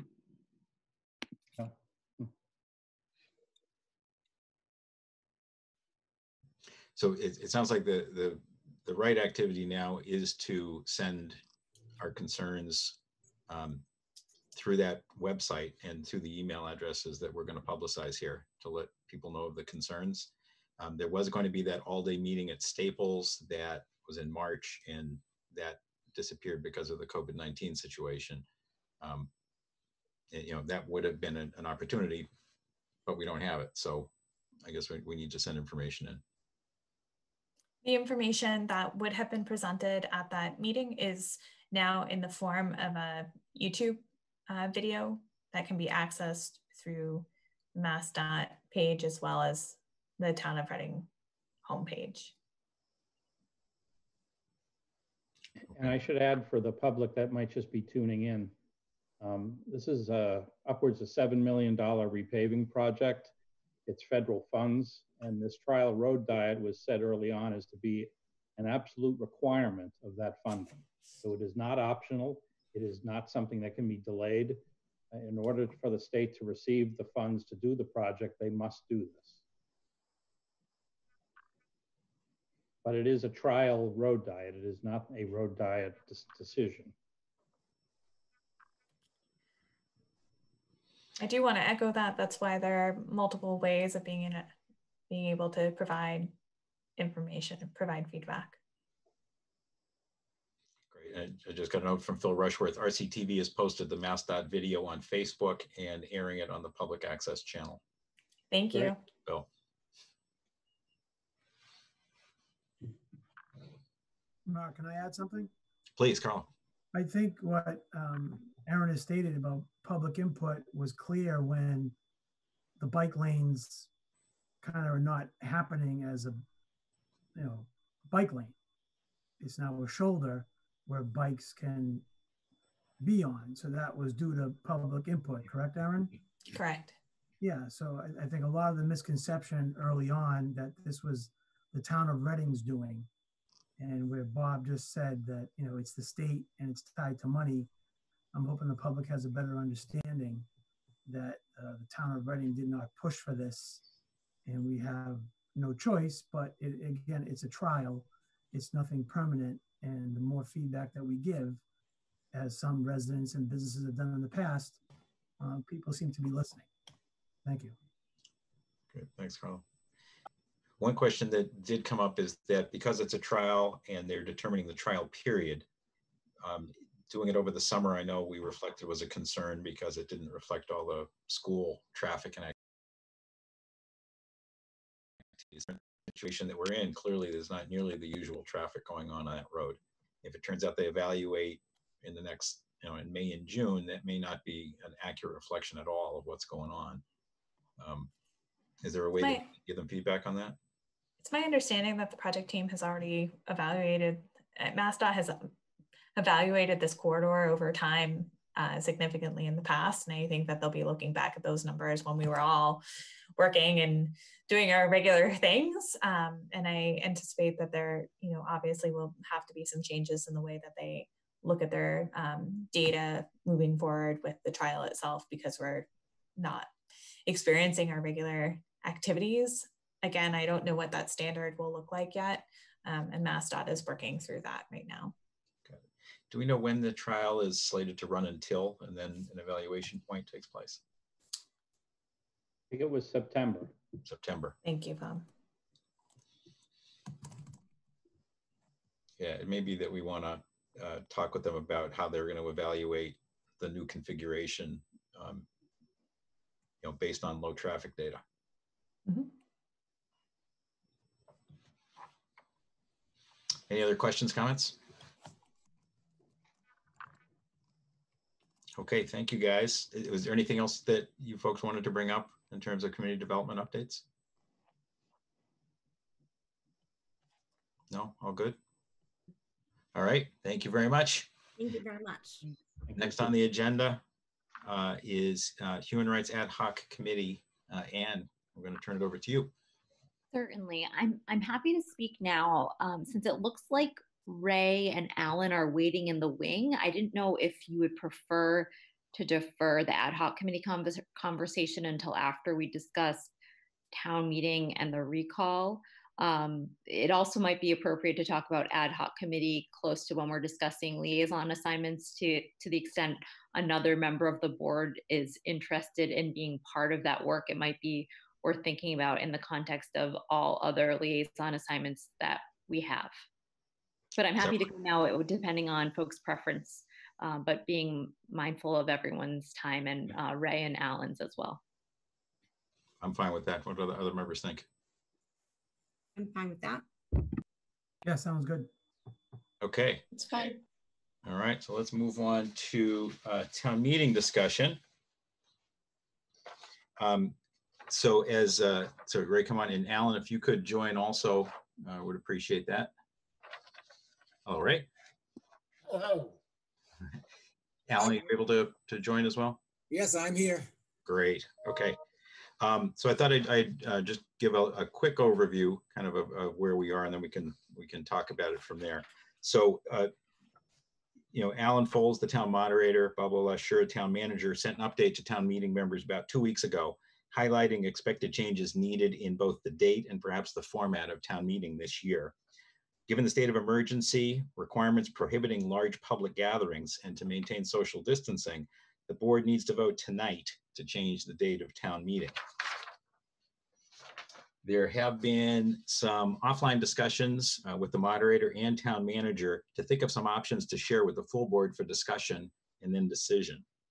Uh, The idea we'd like to put on the table for discussion is that we postpone town meeting until June 15th and then reevaluate this date at the board's last meeting in May, which would be May 27th, to see if there's a way to have a safe meeting. We have an option to not meet before the end of the fiscal year, the end of the fiscal year being June 30th, and just use a 1/12th of the year's budget, which would allow us not to have to meet, I guess, until mid-July, basically. Um, there are some preferences to only do this if absolutely necessary. What I thought I would do is ask Bob if you'd comment on that, and then uh, hand it over to Alan and ask if you'd share your your thoughts on changing the date and how we might approach this. So Bob, you want to grab it, please? Certainly, thank you. Um, Finance is starting to take a significant place in some of the weekly emergency state calls that I'm on, especially as we approach the end of the year.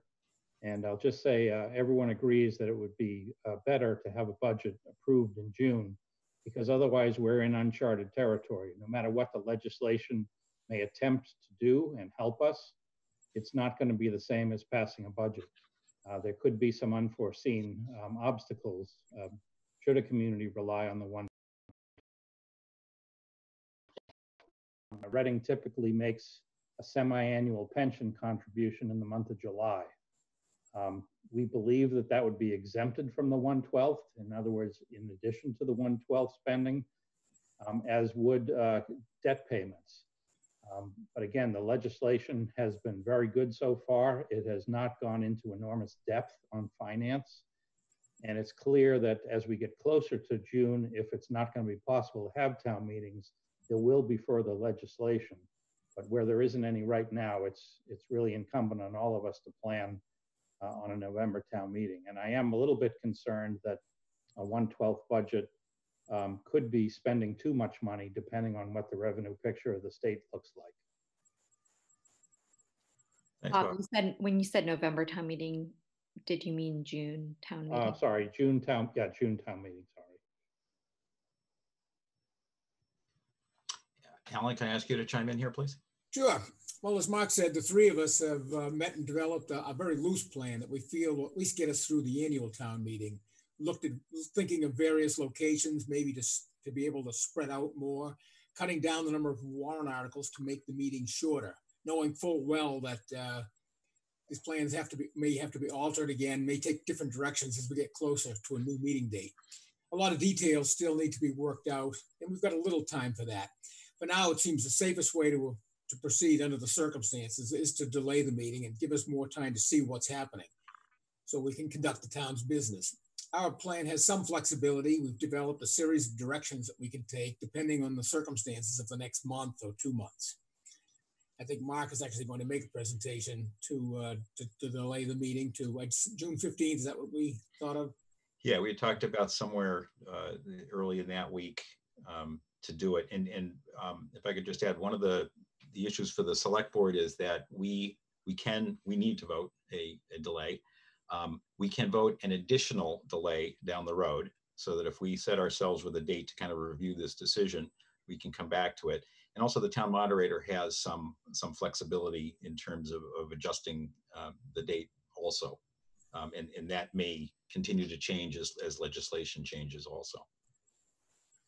I, I will point out that this is something maybe Ray can chime in on, but our town meeting um, votes do not become effective until seven days after the meeting ends. So it does give us an effective date of June 23rd that we have to finish our business. There is a, a way of having some kind of an emergency preamble on the front, so maybe that would overcome that. But right now, we'd have to get the, uh, at least the budget passed by June 23rd to make that June 30th date. So board members, do you have questions or comments on, on this idea or, or suggestions uh, to improve it? I, I have a question, Mark. Um, has the state made any um, changes or accommodations for reaching quorum for town meeting? I guess I can answer that. um, an early draft version of the legislation did have that language in there, um, but it did not make the final version that was passed. Um, there were some concerns with uh, a, a, local select board having an ability to lower a quorum to a very low number um, for either um, open or representative town meetings. That doesn't mean it won't come back in the future depending on circumstances, though. I think we can expect additional municipal legislation potentially impacting town meeting, including uh, the opportunity potentially for virtual town meeting. Um, and I've mentioned to um, Mark and Bob previously, it's certainly my strong preference that we not convene any large gatherings of people while it while there is such a um, great public health threat going on. So to the extent we have the opportunity for um, virtual town meeting, to the extent we could um, provide some opportunity for either technical assistance for people who don't have access to the technology or some some limited in person participation for people who aren't comfortable with the technology. That would be my preference my, my preference would be june you know prior to the end of the fiscal year but with opportunity for virtual participation um, as the the public health of our residents and town meeting members some many of whom are likely um, individuals who could be at risk um, should they um, the other the other piece of information that is current as of today is that there was a consensus revenue hearing at the state level. Um, and it seems like state the state budget could um, as some towns are going to be doing um, go to a, a 112th um, per month until the legislature is able to meet again in person, which could happen after the um, end of this fiscal year. And um, expected revenues are way, way down, of course.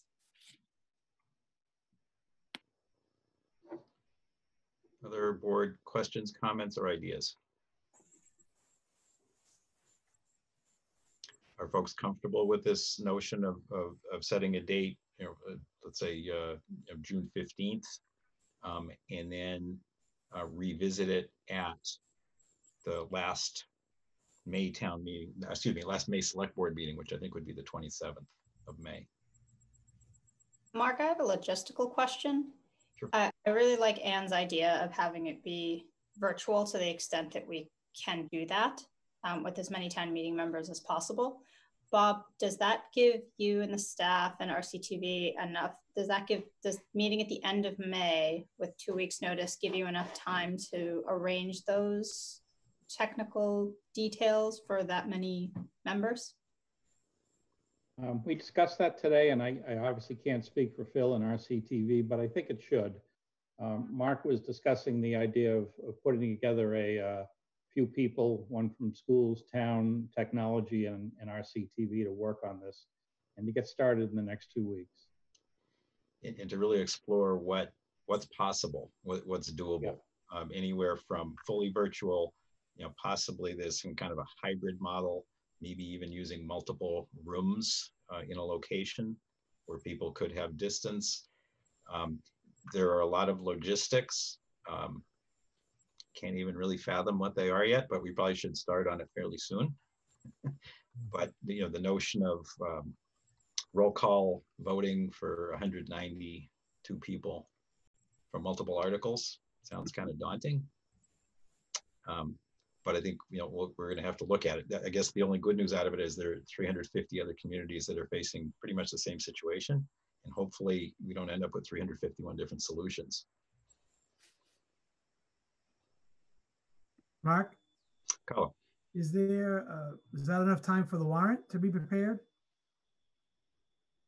So uh, the warrant actually, is it prepared at this point already? Um, the warrant, the warrant report is done and posted online, uh, but the superintendent and I are working on budgets and may certainly want to make some suggested revisions once we have a better picture of the state revenue. And I mentioned to the board, I think it was last week, um, I'd like to make revisions and have pretty much done that on the water sewer uh, to not require rate increases for next year. So there will be some changes. The articles themselves, aside from the budget, um, are, are all set. The um, article for the current year's budget certainly will change um, over the next few months. We're generally in good shape there. One of the thoughts, uh, Bob had put together the notion of um, a one-day town meeting and trying to see what absolutely has to be passed, what absolutely has to happen.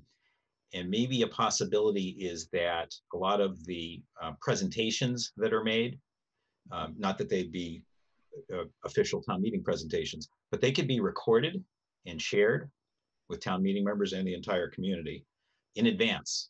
So, you know, perhaps around that end of May timeframe, so that people could um, see them in advance, ask some questions in advance, with the goal of, of resolving as many questions as we could before, you know, we have to, I don't want to say sit down together, but gather in whatever form that's going to be.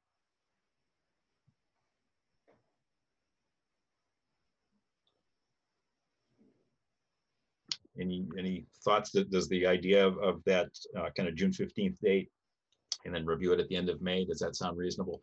I think with the proviso that there's some kind of committee that's charged with exploring uh, options and we're not flat footed on, on May 30th trying to figure out what to do on the 15th of June.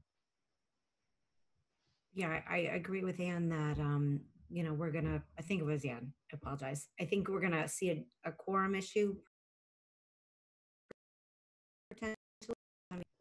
And I can think of at least one town meeting member with absolutely no technology, no smartphone, no computer. You probably might know him. I spoke So- to him yesterday. I think virtual would be great. I know for some town meeting members, that's gonna be a challenge. Yeah, so there maybe i- if we think of a hybrid structure, and again, this isn't at all thought through, so sorry, spitballing, but there might be an opportunity in virtual to allow for some people to participate by telephone, to have mm. RCTV broadcast. Sorry, Phil, haven't talked to Phil about it yet.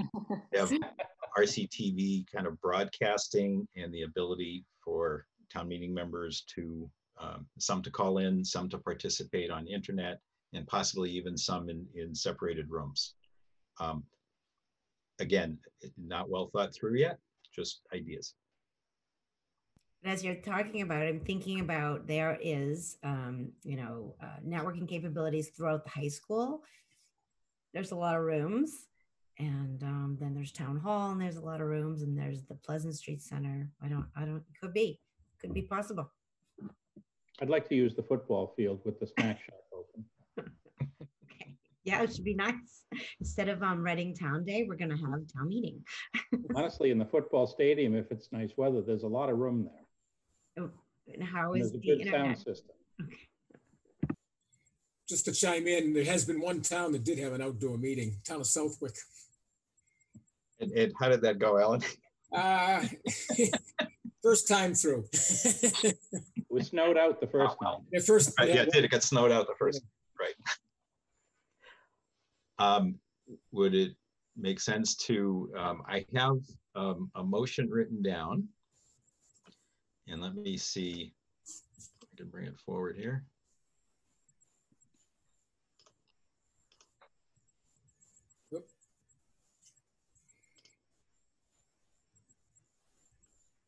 You guys seeing a motion? Yes,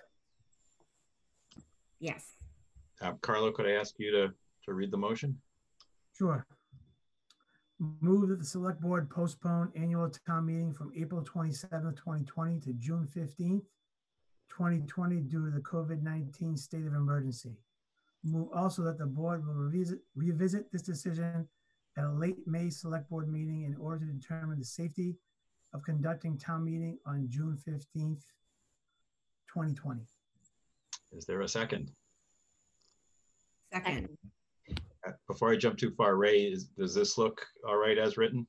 Um, I just have one point that I think ought to be clarified, and that is, uh, it says that the board will revisit this decision at a late select board meeting, which suggests that, um, th- that you might revise it, which obviously that's what you're contemplating. Right. But I assume that if you're going to revise it, you will only revise it to make it later. Yes, I would agree. Um, um, to, so, um, um, that, beautiful, beautiful. Very good, And, um, and as a comment on your prior discussion, um, there is currently pending legislation that would authorize representative town meetings to be conducted virtually. That legislation, at least the version I have seen of it, only applies to representative town meetings. Um, and it's quite detailed. Um, but it hasn't been passed yet. And um, so everybody should just be a little cautious that that while we have um, uh, the bill has a lot of support from towns that have representative town meetings. Um, we don't know for sure that we will even have the authority to do it. True. Okay, so if we don't have authority to do it, and in fact, we will be delaying further, right? Be the net If of we also answer Um, that we can't do it safely. safely, right? So yeah, the, you know, I think a lot of people are assuming that at some point the emergency situation will be lifted. Um,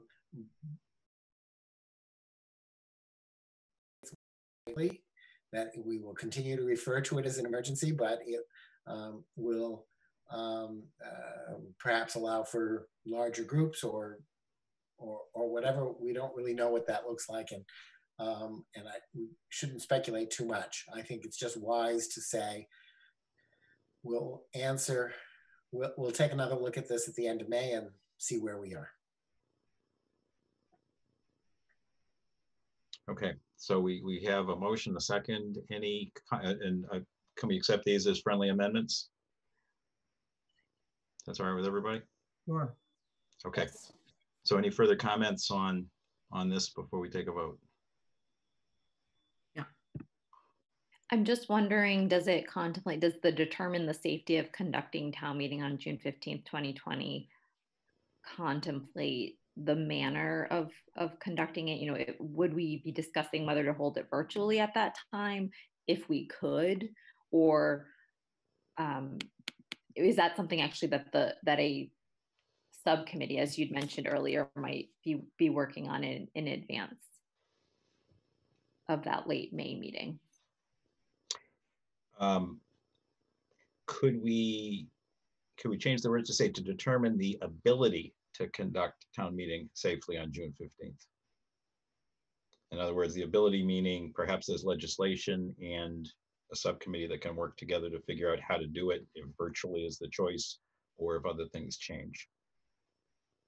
Does, does that ad- address your concern enough or, or, or not so? I think I think it's probably even fine as is. I was just looking for a little additional clarity, but basically we're going to be looking at discussing at the end of May where we are and if it's safe to if it's safe um, and in what manner or it could be safe. Um,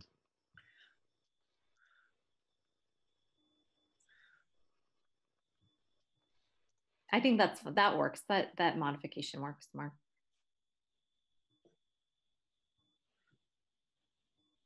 I didn't read it carefully. I pressed the go button. Sorry. All right, so other than spacing, Yeah, I think that's good.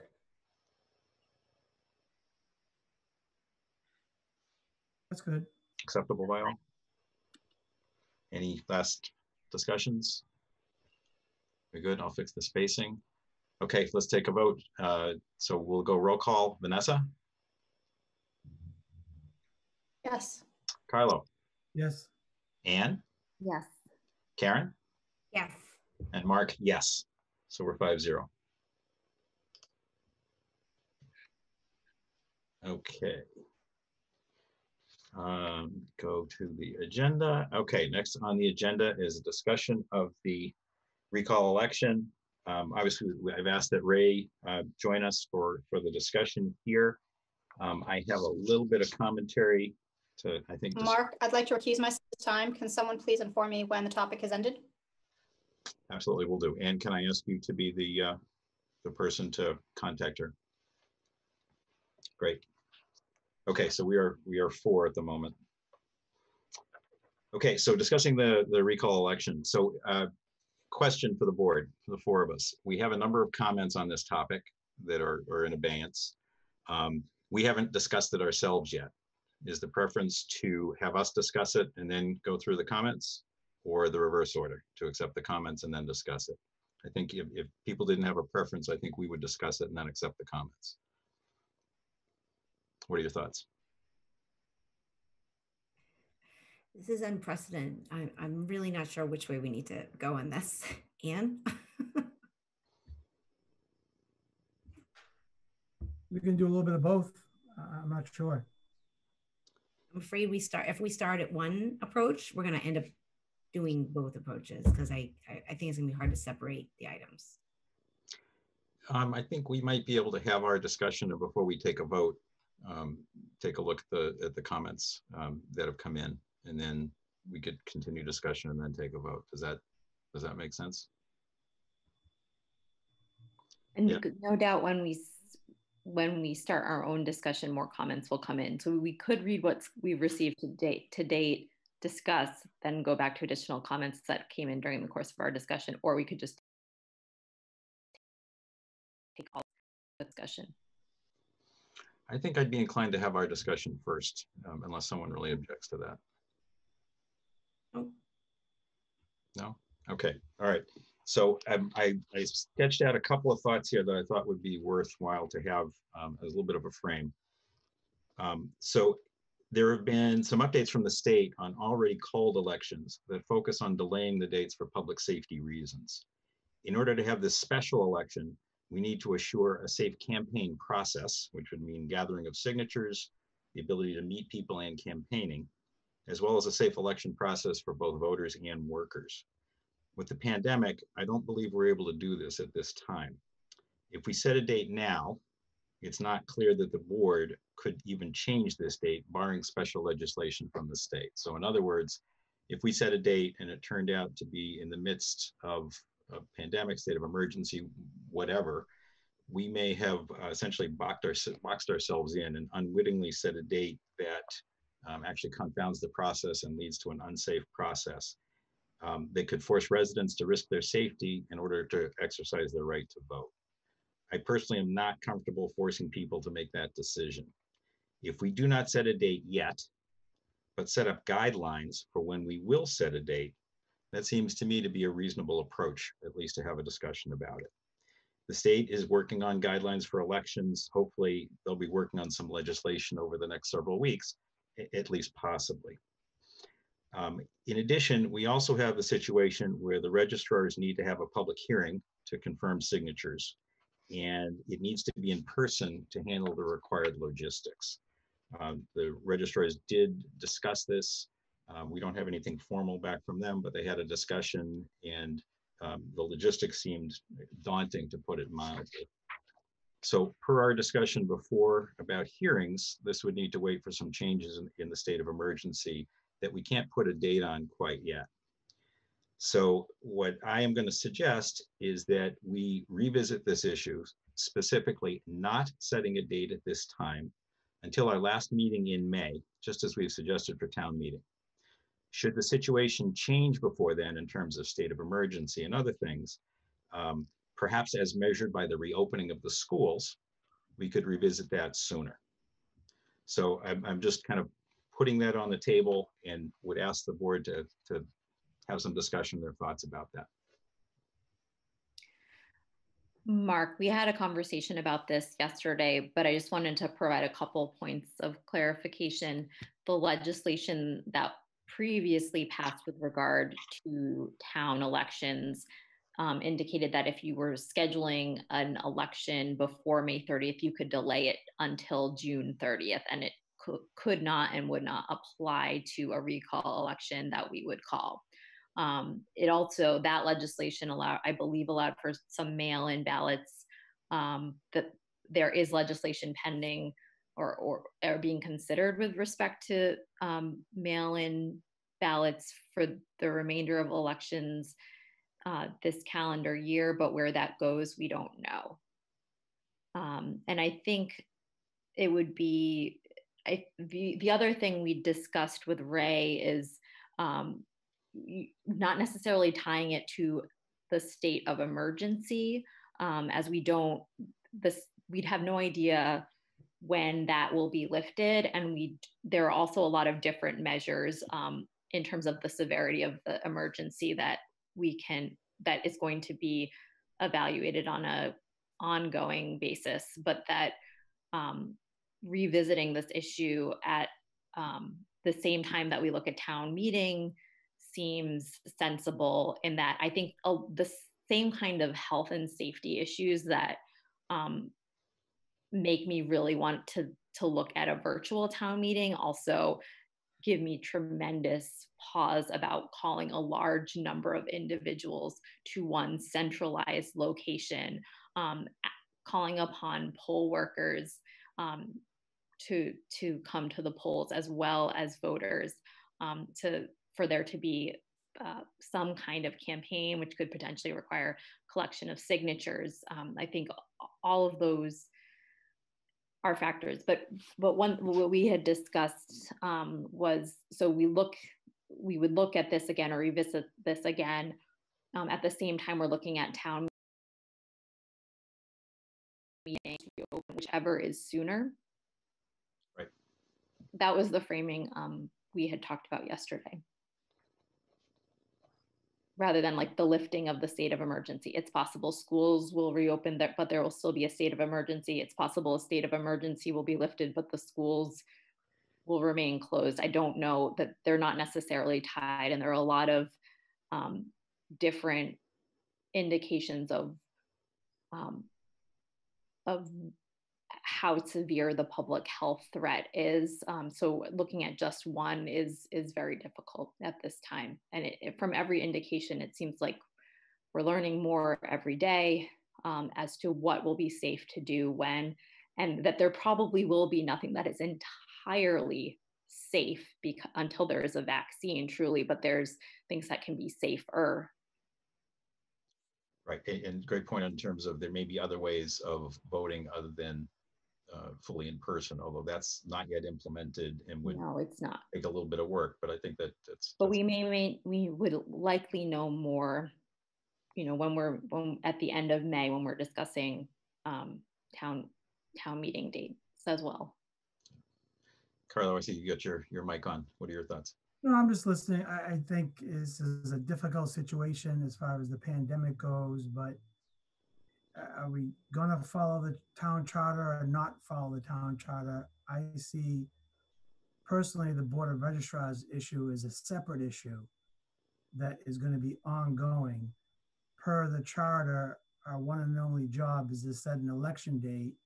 I know we have unforeseen circumstances and a lot of unanswered questions going forward as far as what's safe and what isn't. And then there's going to be personal choices of what's safe and what isn't.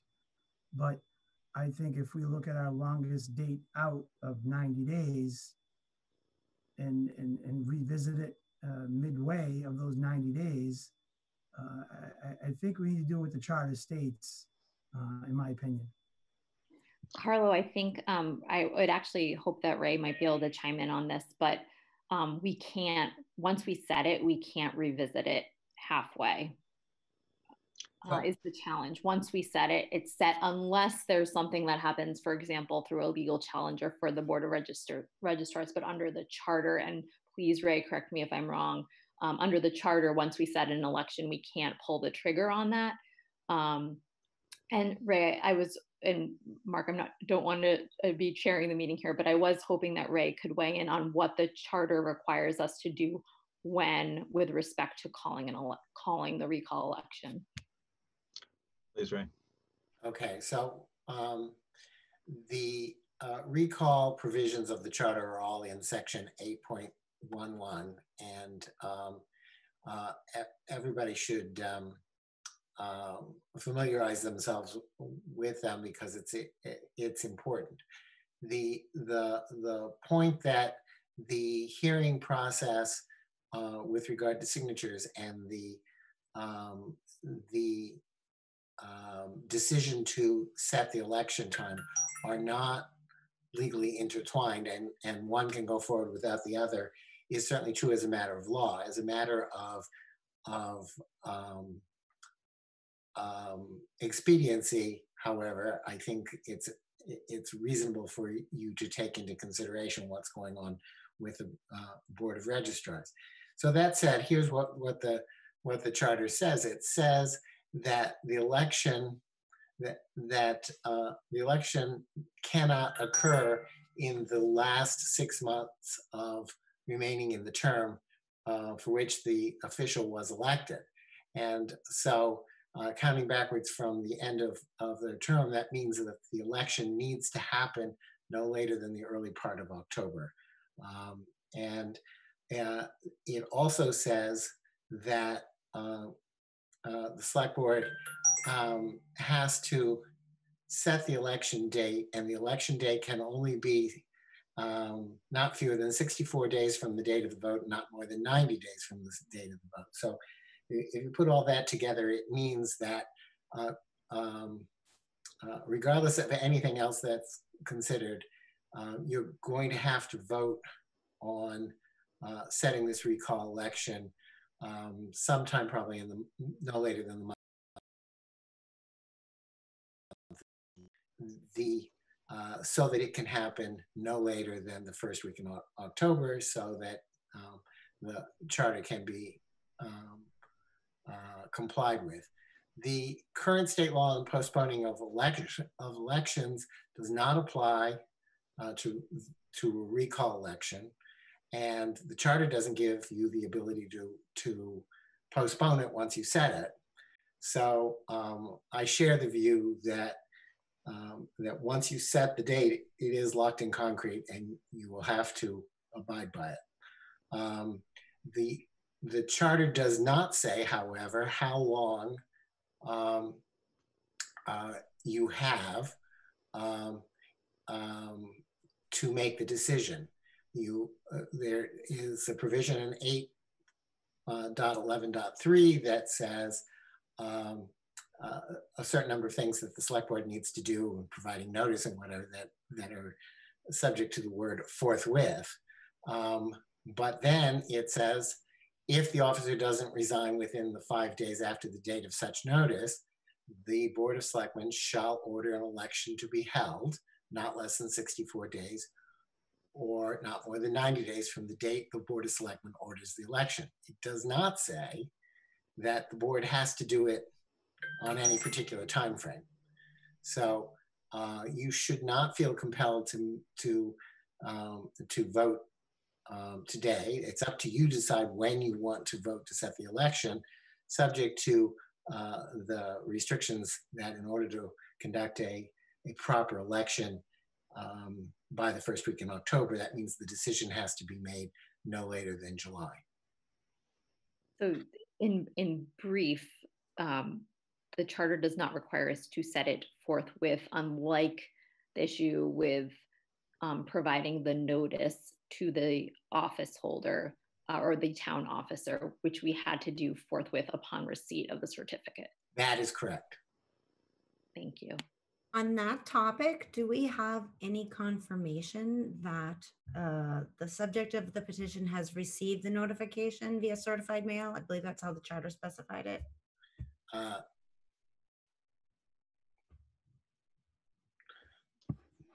it only it's the charter specifies merely by mail postage prepaid. Oh, prepaid. Not say certified. Okay. That said, um, uh, I believe Bob may have some information about uh, about the receipt. I did send it registered. I have not yet received uh, notice back from the post office, um, but I'm only getting mail two or three days a week.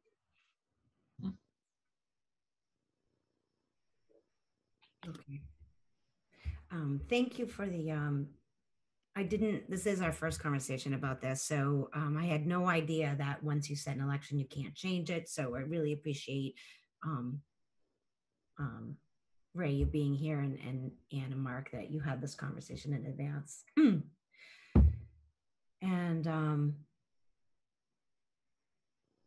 I'm not comfortable with the safety risks. And um, so I, I, I, so I think we've seen laid out here that we kind of have these tight parameters within which we need to work. And my understanding after um, watching the Board of Registrars is that they are going to proceed with the hearing um, based on town counsel's advice. I think that's correct. They are, they are going to proceed with the hearing, but they have not set the date. And they're, they believe, or at least the discussion was, um, since much of the substance of that hearing will be, is this signature valid? So there's a need to examine the signature that's on the petition versus the signature that's on the voter registration card, if there is one. Um, perhaps the person who uh, who signed the petition uh, will have submitted something about that. Um, and we have to do that um, maybe not for every all 900 signatures that have been challenged, but at least for enough to make a difference. So um, we can expect that that hearing will go on for a good long period of time. It will be made much um, the um, um, and if there are a large number of people who want to participate in it, it will it, it will be even more difficult. So um, I think that it's fair to say that the Board of Registrars would greatly prefer to hold that hearing um, in the traditional way, um, uh, if that is at all possible.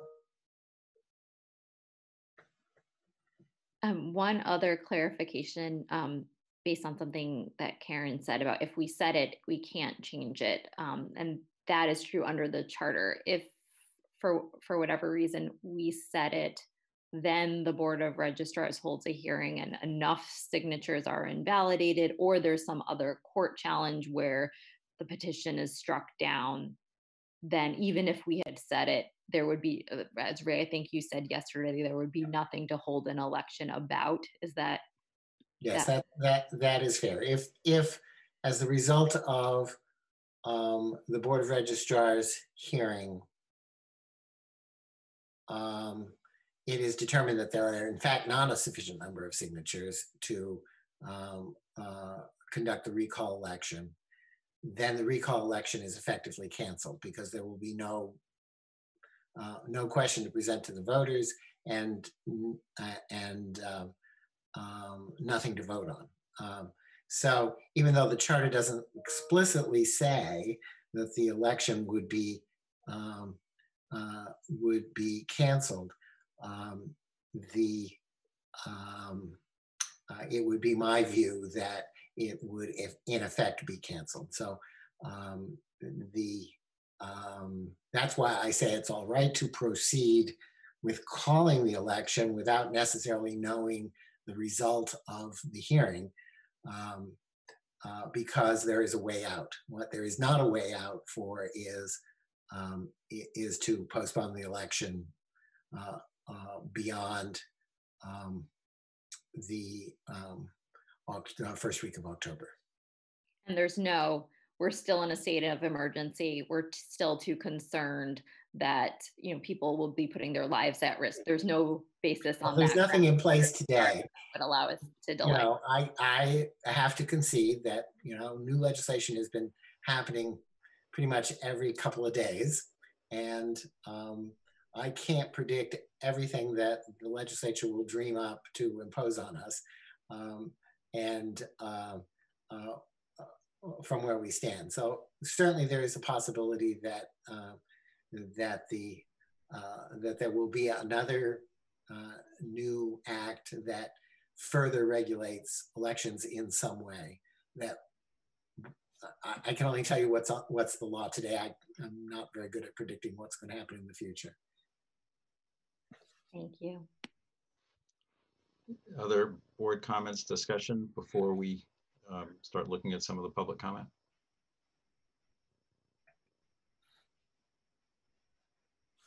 All right, should we um, look at the oldest first? I could just make a comment. Sure, please, Bob. Just as a reminder, there is at least scheduled a state primary election in September.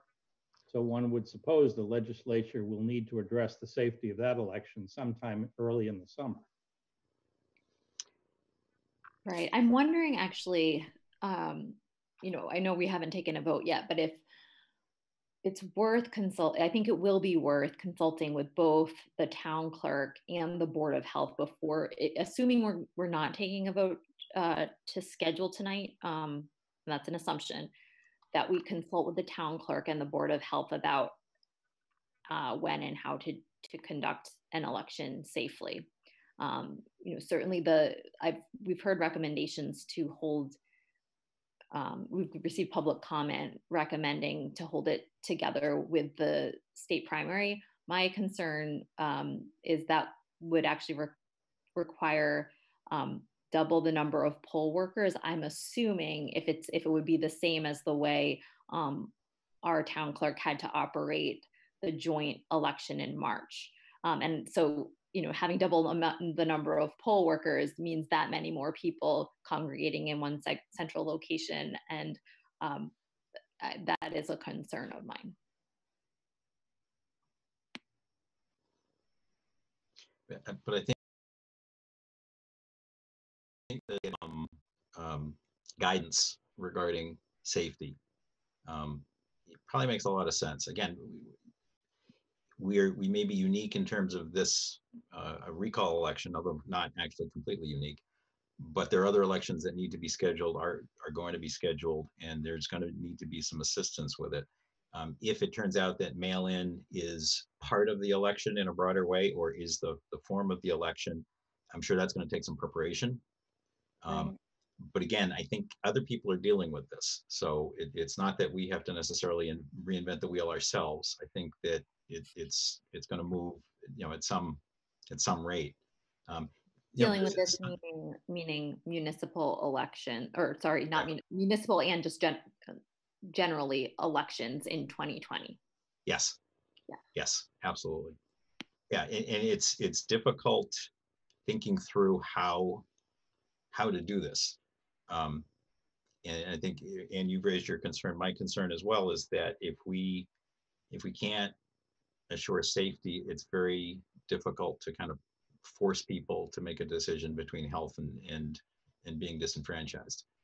Um, and it's uncomfortable. And we believe we'll learn more um, in the not too distant future about it. And that's the idea, I think, behind establishing a, a, a date, a date certain to have another discussion about it.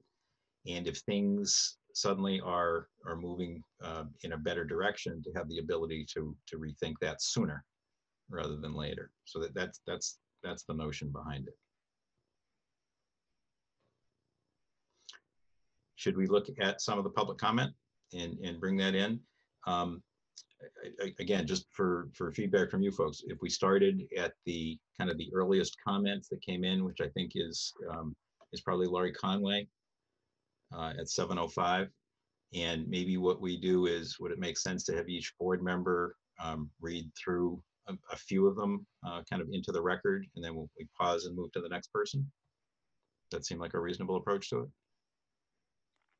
Sure. And um, point of clarification, would we, so some of them come in without the name and address. So are, are we going to just skip the ones that really we can't identify them? Yes. Okay. We, we were specific in requesting that information. If they were attending our meeting, and I'm, I'm waiting for, for Ray to give me the, no, you can't do that, but I haven't seen that yet. So I think for our public meetings, um, the requirement is when, when someone um, wants to make a statement, they're more than welcome to, but they need to state their name and address. Yes. Um, and that's all we're asking for here. And we stated that clearly at the start of the meeting, um, as well as in the past, that that's the requirement. So, um, shall I start? Or Please. So uh, this is uh, from Laurie Conway, and I'm sorry, she sent her address um, in another mail that I saw. Um, if someone else sees it, just, oh, sorry, it's 53 Riverside Drive. Um, hello, I have several questions about the notification to Ms. Alvarado, as well as the objections to such recall petition. I hope these questions will be answered tonight during the meeting. First, I would like to know exactly how the first notification was made to Ms. Alvarado, which should include the date, method, and person making the notification. I'd also like to know who objected to the notification, why it was deemed necessary to do the notification again, and why the wording was changed to make it appear as though the first notification did not take place. I would also like to know specifically how the first notification did not meet the town charter. All these facts should be readily available to taxpayers in town. There are actually a couple more points here. Second, I was completely appalled to see that several hundred taxpayers in this town have had their integrity questioned as their signatures have been considered invalid because of supposed fraudulent activity. I know of a few people who signed in my presence. I also noticed many others who told me they signed. How can something like that happen without any proof? I'm reaching out to those individuals on the list that I personally know to make them aware, and I'm sure that many will be in contact with the Board of Registrars to let them know of the legitimacy of their signatures. I also noticed many first responders on the list, whether it be law enforcement or medical personnel. I think these people need to take any time out of their very limited time during this pandemic to prove they're not engaged in unlawful behavior is an absolute disgrace. I hope you all, as well as your families and loved ones, are staying healthy during this pandemic. Personally, I have been doing checks on neighbors, making large quantities of masks to help protect my friends who are directly working with COVID 19 patients, and trying to keep my medically fragile daughter safe from catching the virus. I shouldn't have to be taking the time to write to you express my disgust at taxpayers being falsely accused of crimes instead of doing things to help others during this crisis. Uh, board members, where we know some answers to these questions, should we should we share them here? I think probably we should. So uh, specifically as it relates to, and, and, and, Ray, I'm sure you'll chime in if you if uh, if you want or feel differently in terms of the notification and the activity. Um, we actually um, went by the charter specifically in terms of notification. An objection was made by Attorney Newman. Um, and the discussion we had, I'm sorry, the objection that was filed was in our board packet that goes back to that date, which I believe is now two weeks ago. So that that was publicly filed and it's in the board packet, so it's available there.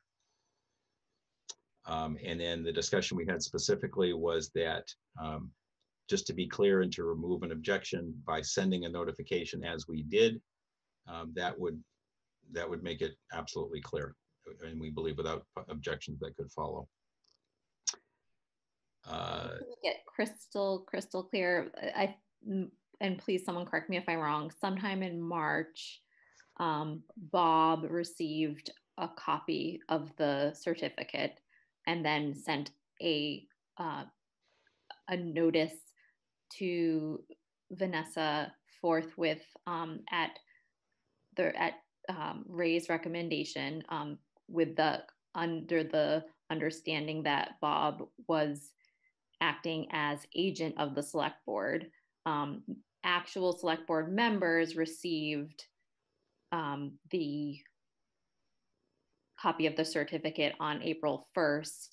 And at our meeting that evening, we um, in, voted to instruct Bob to send um, the notice to make it um, because if to remove any concern that we hadn't um, that Bob hadn't been acting as an agent previously. Um, and it was in fact following when the actual select board members were in receipt of the certificate. Okay, let me give it a try too. Very good. okay, so the sentence in the chart in the charter that we're talking about is in 8.11.3.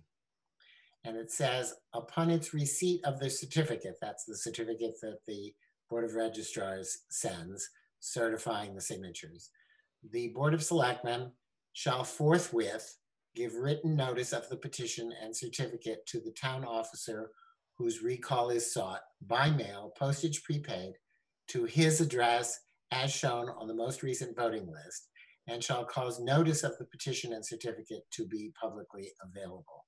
Okay, so, um, so uh, in my view, and I really don't think there's any dispute about this, the um, select board uh, receives um, material of all sorts um, when it's delivered to um, uh, the town offices. The um, it is it is not a reasonable interpretation of this to say that the the individual select board members have to individually receive uh, receive the um, certificate in order to act. Um, so that's the reason why I advised Bob that he, um, as the recipient of mail for, you know, on behalf of the select board, is entitled to um, uh, act as their agent. Um, Bob's office sends out notices on behalf of the select board all the time without, um, to, know, a whole variety of circumstances without um, getting a specific uh, authorization from the select board to do so because that's part of his um, his duties under the charter. Um, I also noted that it does not say you that the select board has any discretion here. This is not something that the, the select board can choose to do or not choose to do. It says shall forthwith give written notice. And to me, shall forthwith give written notice doesn't mean wait until the next select board meeting. It means do it right away. So that's why I advise Bob that he should do it. Um, Mr. Newman objected to that.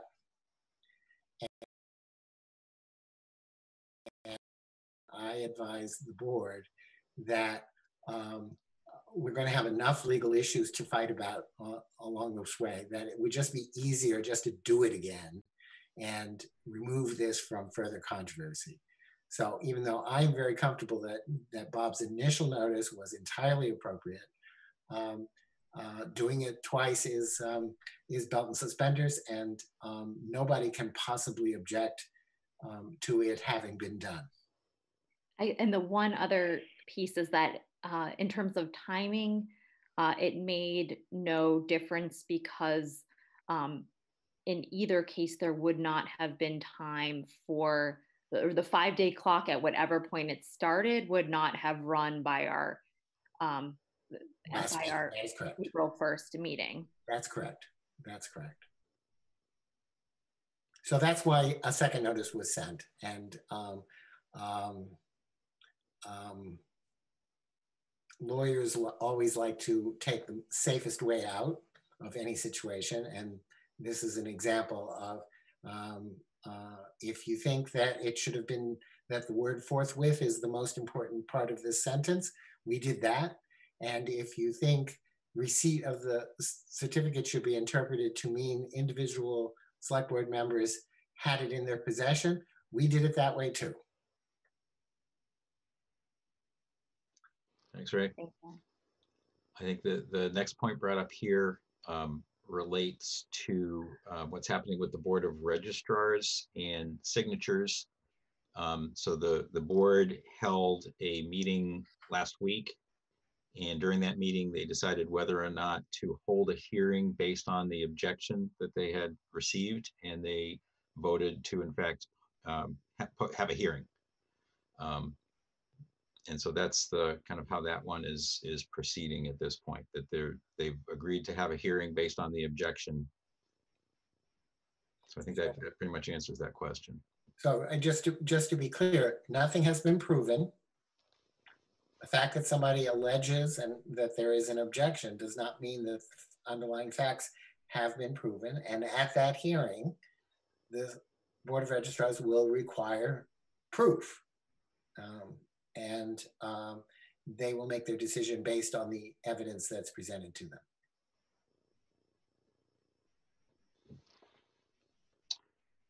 um, okay so uh, tim Kerwan's was read correct Yes. okay um, Wow. Um, maybe I should pass to the next person. I'm just kidding. um, James Flaherty, 15 Chequesset Road. Uh, so the message here is recall agenda item. The town home rule charter is very specific relating to recall procedures and removal of an elected board or committee member. As documented in Article 8.11, there's no mention made of allowing variance for date or dates of submittal of required documents, etc. Once a petition has been certified, transmitted to the Board of Select Persons, notice given to the town officer, and that town officer did not resign within five days, then the Board of Selectmen shall order an election. At this point in time, a certified petition had been issued, addressed by the Board of Select Persons, and formally transmitted to the applicable board person. Subsequent, subsequently, the Board of Registrars on April 8, 2020 voted for a public meeting for the recall petition. Does this constitute a request or a requirement to the Board of Select Persons? Can the petition as certified and transmitted be rescinded and replaced by a public meeting by the Board of Registrars? Are there now two motions on the Board of Select Persons table relating to the same subject? The drafters of the Town Home Rule Charter recognize the need for a difference in the method of recall of an elected versus an appointed member as defined in Article 8.11 and 8.12. An appointed member's only recourse for support would be by holding a public hearing, whereas an elected member has the full weight of their constituents in defeating the recall. Did the Board of Registrars fully realize and or recognize that by voting for a public meeting after the fact, that this would require an in-person open forum type of meeting that could not be held during the current emergency situation and may not be held prior to the elapse of the petition due to the Home Rule Charter time constraints. Um, I think that's actually a registrar's.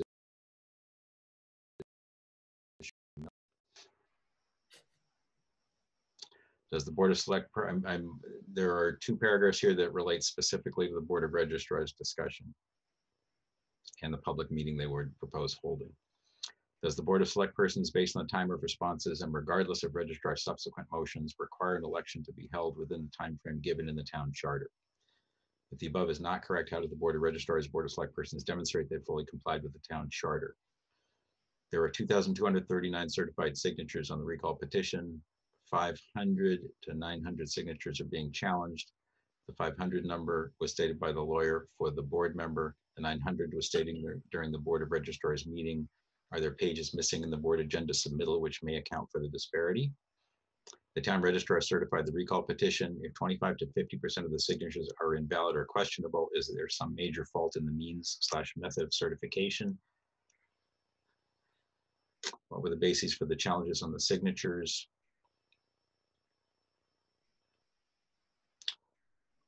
Uh, this is specific to the registrars.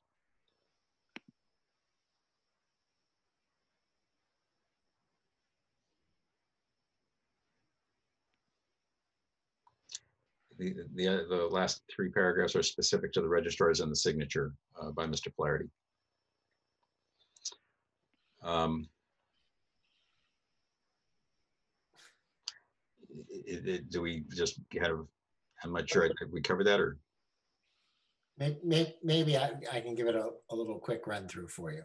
Great, thank you. Um, the charter does not require that the Board of Registrars hold a hearing it, in theory at least, the Board of Registrars could simply act on the objections without holding a hearing. If they did so, however, um, remember that um, uh, that we still live in a um, uh, in a world where we provide due process um, to people who have disputes. Um, so it would mean that um, the objectors would be able to go to court and get their hearing there. Um, and um, that hearing would be much more formal, would require sworn witnesses, cross-examination, all that kind of stuff that you would normally see in a trial. It probably and um, the the decision would then be made by a judge.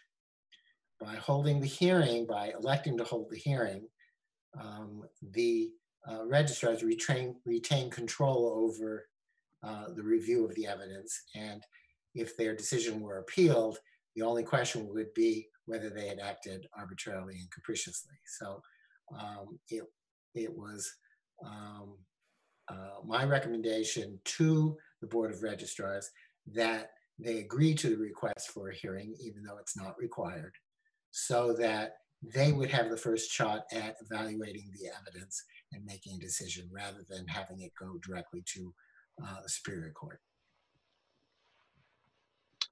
Thank you, Ray. Um, there's a message here from uh, Kathy Zeke, but I don't see an address. Perhaps if you could send us your address, we can we can come back to that one. Um, Rebecca Bailey, Forest Glen Road. To the select board, please don't schedule an election for the recall of Vanessa Alvarado until the Board of Registrars has held a hearing on the objections to the recall petition and signatures. It's important that the validity of the petition be confirmed or rejected before any other action gets taken, especially given the circumstances of the coronavirus pandemic and our inability to keep voters safe and healthy during an election process. Someone like to take the next three? Um, you want me to try? Aaron, you're on. okay, let's see how big these are. Okay. Okay, uh, at 7:45 p.m. Um, okay, we have a a letter from uh, an email from Dimitra Texeras at 106 Oak Street. Please do not place a recall vote on the calendar until and unless the Board of Registrars gets to do their job and hold the public hearing they desire in order to fully investigate the recall petition and the objections raised regarding. I'm sure you know this, but I feel it has to be pointed out that for Weld Ensminger Arena to vehemently call for the selection to be held ASAP put this uh, puts the citizens of Reading in, into danger. Okay, it's insane to hold a recall election during a worldwide pandemic, especially if one can one can be held in September when we go to the polls anyway. This would save the town money and hopefully not endanger all of us regarding the virus. If the recall is to be anything but a sham exercise in divisiveness and misogyny, misogyny, uh, sorry, all of the steps to fight it should be permitted to play out. Perhaps someone should convince this group to just run a candidate against Miss Alvarado in April. That makes the most sense of all. Okay, that's just a statement, I think. Next one, um, Keith Moulton, 31 Van Norden Road. I hope you discuss the recount fully. I hope the recall is taken seriously as my signature was questioned, and I feel that those that signed the petition should be taken seriously.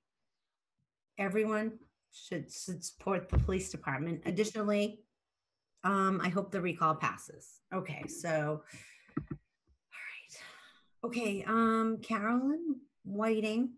We have to stop on that one also. We don't have an address. Yeah, I think Carolyn there's an address on that one. Okay, address, we can address it. Yep. Sorry, Okay. we can talk about, You want me to do one more or pass it on? one more, please. Okay, you got it.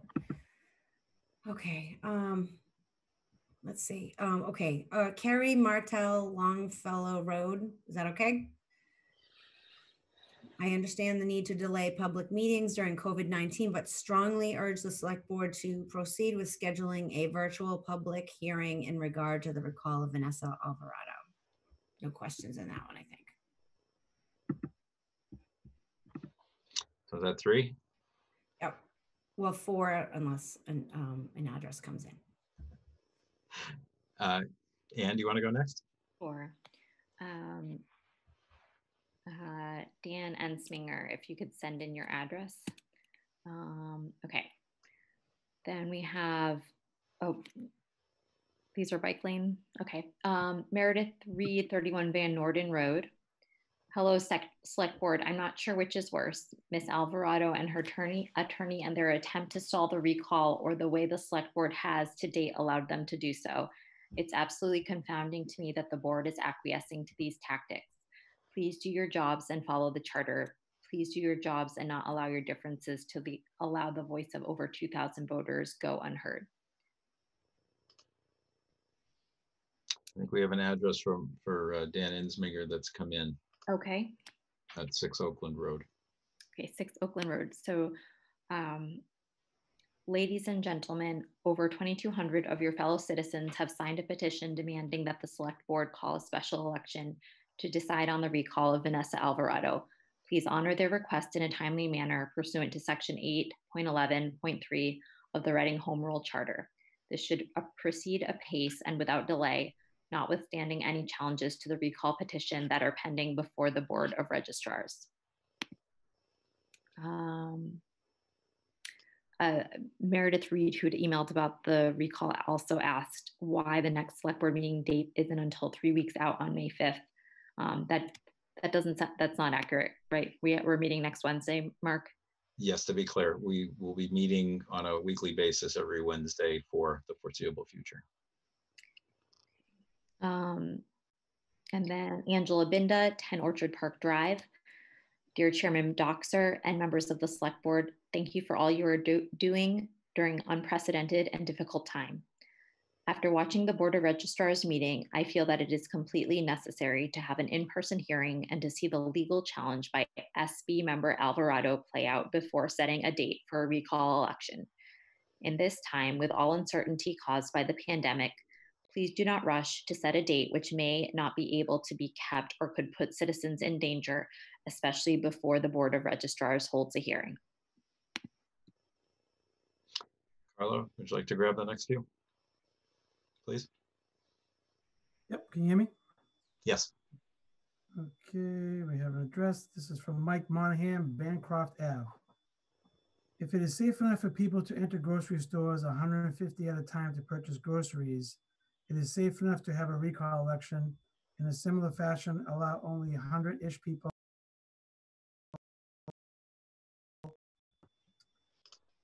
and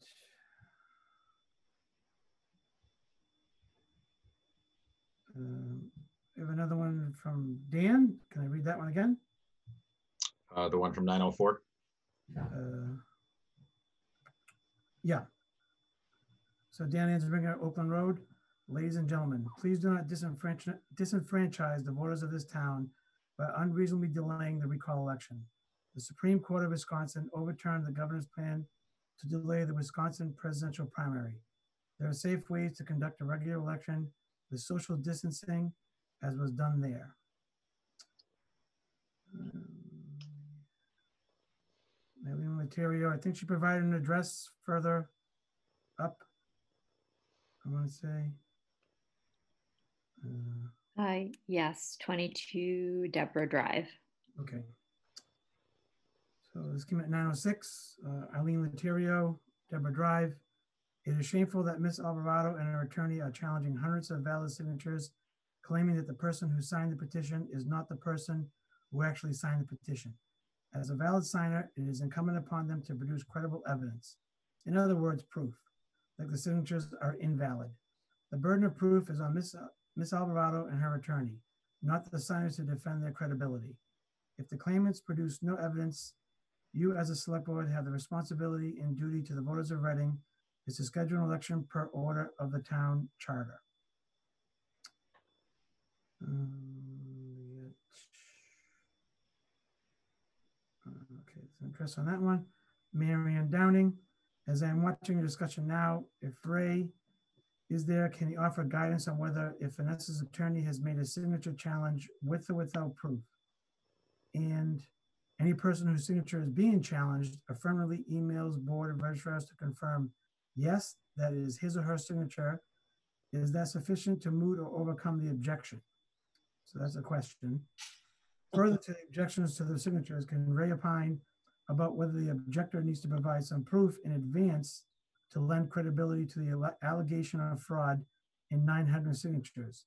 My understanding is that this attorney has not even obtained actual official signature exemplars from the town for any, for any objected to signature and is also alleging facts that which no proof whatsoever seems possible without witness testimony, such as alleging one person signed for multiple others. The signature objections seem to be a delay tactic, offered without any proof upfront, designed to ensure the recall election takes place so late that is less than six months before next election. Uh, do you want me to keep on going or pass it off? Uh, I can I can pick up the next the next ones. Um,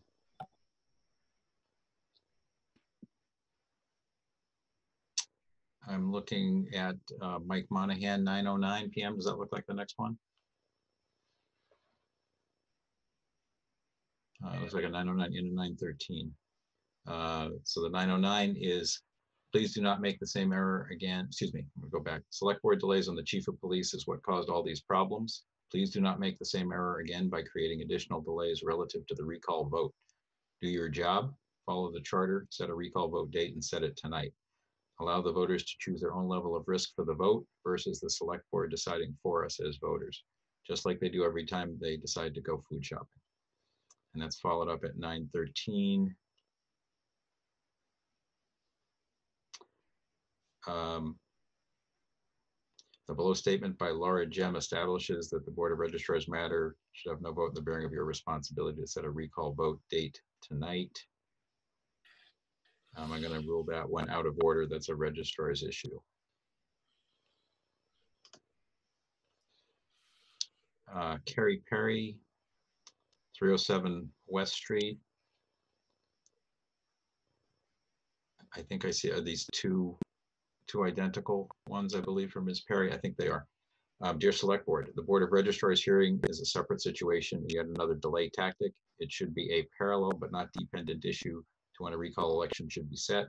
I would recommend the Select Board did it, set a date now for the recall election without further delay and allow absentee ballots for voting as needed in full. Therefore, there is not a decision of health versus being able to vote. There is also the option of TV campaigning to reach the town and the virtual meetings.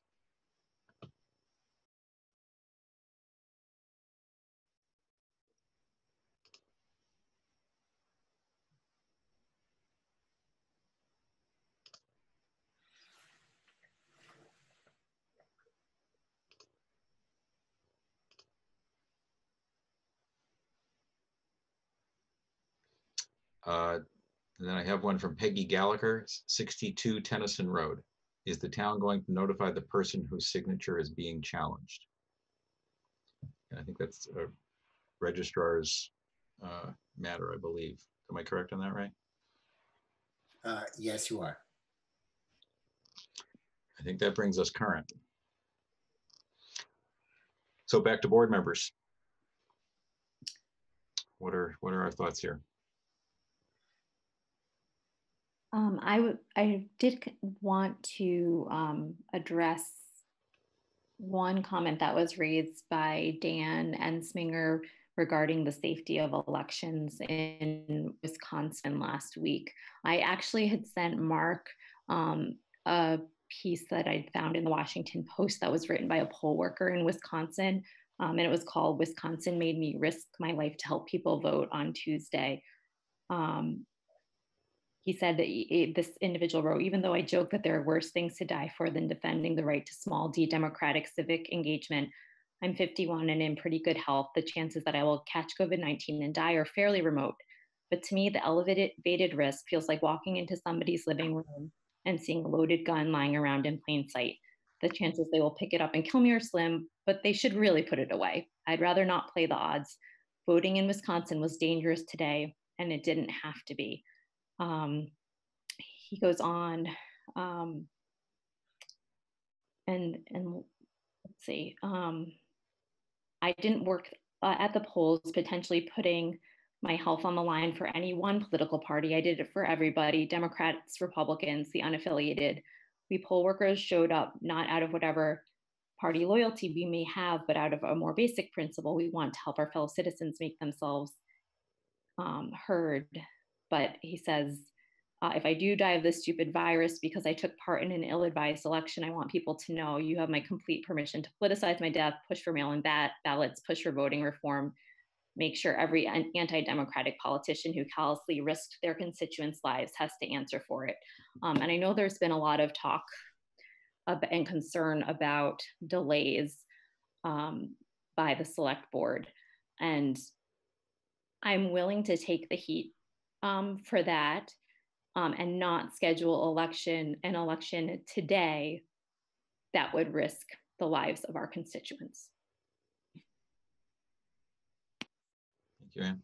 And I, you know, I'm planning to follow, I fully plan to follow the charter um, and schedule an election at a time I have better information as to when it will be safe to do so. Um, we are not co compelled under the charter to schedule today. Um, and to do so today would be um, irresponsible and risking people's lives uh, unnecessarily. Thank you. Carlo, did you have a comment? Uh, no, I'm just have it on just so they can. Oh, sorry. Karen? um, the safety is still paramount. I, I found this evening's discussion to be very helpful. Thank you very much, Ray, for laying it out there. Um, I like the proposal to reevaluate on May 27th. Um, we don't know what the situation is going to be in, be around here in the next few weeks.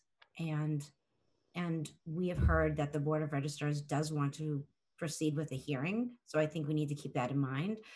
And um, it was very helpful to, and, and we've been struggling with how to make town meeting happen. So I think the election is is very similar to town meeting in terms of safety and difficulty. With the added information that we have tonight that once it's scheduled it can't be changed. So um, I, I don't think we can put people's lives in danger. And at the same time interrupt a process that is going to be happening. We don't actually know when the um, Board of Registrars will be able to schedule their hearings safely as well. I mean, I, we're not talking about having any hearings in town whatsoever for the foreseeable future. And we're going to be discussing a policy that Ray is going to do that for us. I like um, reevaluating this um, May 27th. Um, and you know, God willing, we will be in a much better position health wise and be better able to um, comply with the charter um, in a safe manner. Thank you, Karen. Um, just a, a, quick follow on also, um, I've been following uh, the Wisconsin discussion and I'll share some articles, but there was a, the latest update from that is that the number of people that felt disenfranchised by that decision um, is quite substantial. And I am just not comfortable uh, having that take place. I just don't think that's the right the right approach to it here.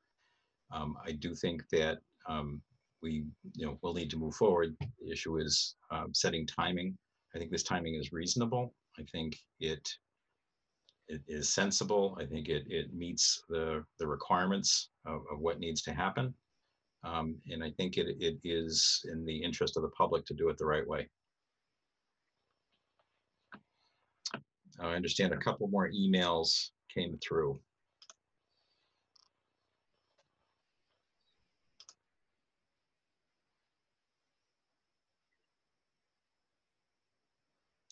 Uh, so from Krista Rubin, Fairchild Drive. Please answer the question submitted by Mary Ann Downing. This was not answered. Um, let's go back if we can.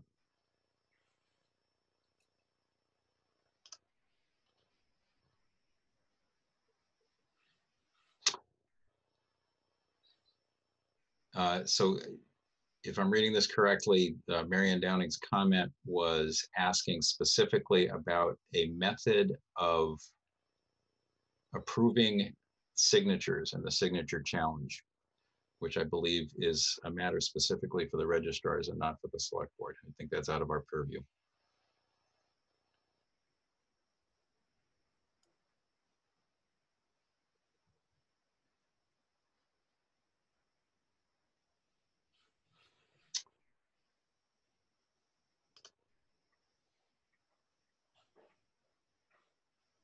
Oh, sorry. Um, thank you, Marianne. Um, the question is whether advance, sorry, let me read it exactly. Hi there. Ray didn't answer my question in the past email on whether advance proof is to help ensure that the objection is not just a delay tactic. Uh, again, I think that this is registrars, but Ray, I would, your thought on that? Well, let me just say that um, that in our judicial in, in our legal system, people are entitled to uh, make allegations in a proper forum, and in this case, it's to the board board of uh, registrar. The um, allegations are at this point just allegations. Uh, they're not required to prove the allegations in order to have a hearing where they'd be allowed to prove them. Uh, but once they make them, the Board of Registrars is, has the option, in this case, of holding a hearing. At that point, the burden of proof will be on um, uh, the uh, the person raising the object the objection. So in this case, um, uh, Vanessa and her attorney will have to come forward with evidence to to substantiate their allegations, um, um, and the uh, that proof will have to be rendered at that time, but it doesn't have to be rendered before then. Um, there's one last one here. Um, Joyce Gould, 17 John Street. Why isn't it possible to schedule an election now using absentee ballots, which would keep the entire morning public safe? Maybe, I- I'm sorry, it must be voting, sorry. I'm guessing it's a typo, entire voting. So, so, so the answer is, we don't have the authority to run an election exclusively with absentee ballots. When the election laws require us to open the polls on a specific date and um, to uh, uh, allow voters to come in and cast their ballots. That's the way the elections, the election laws work today. Um, so to be eligible to vote by absentee, you must be one absence for, from the voter's city or town on election day, or it must be due to physical disability or religious belief. That is true too. Um, so I, I had said that would be the last one. There, there is one more. What does the board think? Should we accept this last one? Or call it or close? Take this last one. Okay, this will be the last one, 9.54 p.m. from Sean Brandt, Franklin Street. Can you clarify whether the board could set an election date even if you wanted to? I believe you stated earlier in the meeting that Ms. Alvarado has not yet received the letter, nor has the five-day window even begun. So it seems it would be jumping the gun to set an election date tonight, regardless of the outcome of any hearing or the pandemic. So I think the eh, what Bob said was that he sent the letter with a return receipt request, and that green card has not come back to him. So we do not have proof of when it was received. Um, so we don't actually know whether the five days, um, and remember that's five business days, um, is um, ha has elapsed or not. Um, we didn't focus on that because I think the conversation has mostly gone on with respect to the safety of conducting the, the election. But uh, at some point it's necessary to confirm when the um, um, notice was received.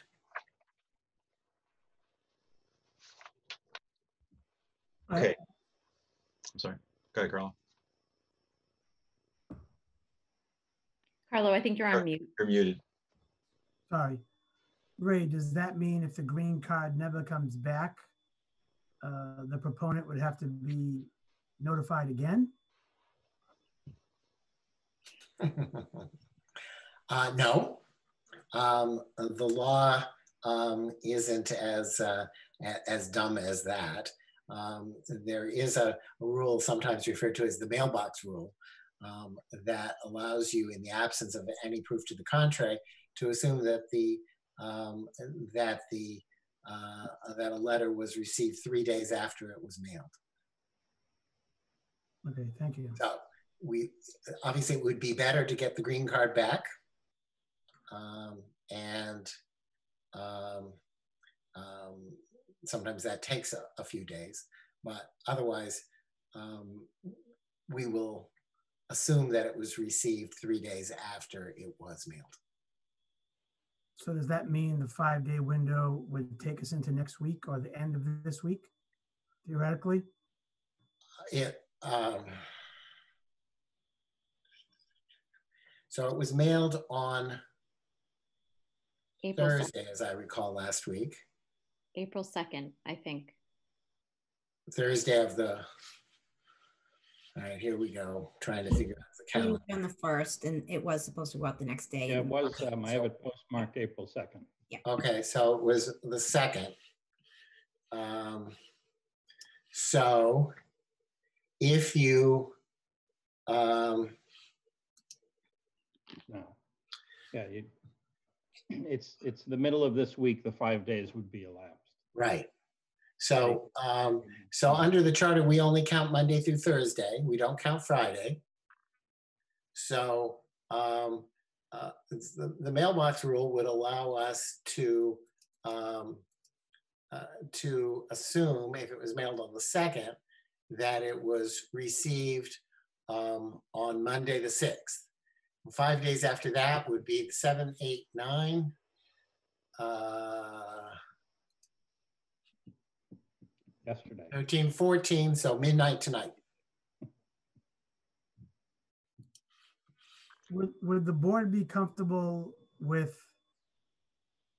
since things are changing so fast and daily, and I agree the health and safety of the town is paramount, that the, our guidance for a state of emergency goes through, I believe, May 3rd or May 4th.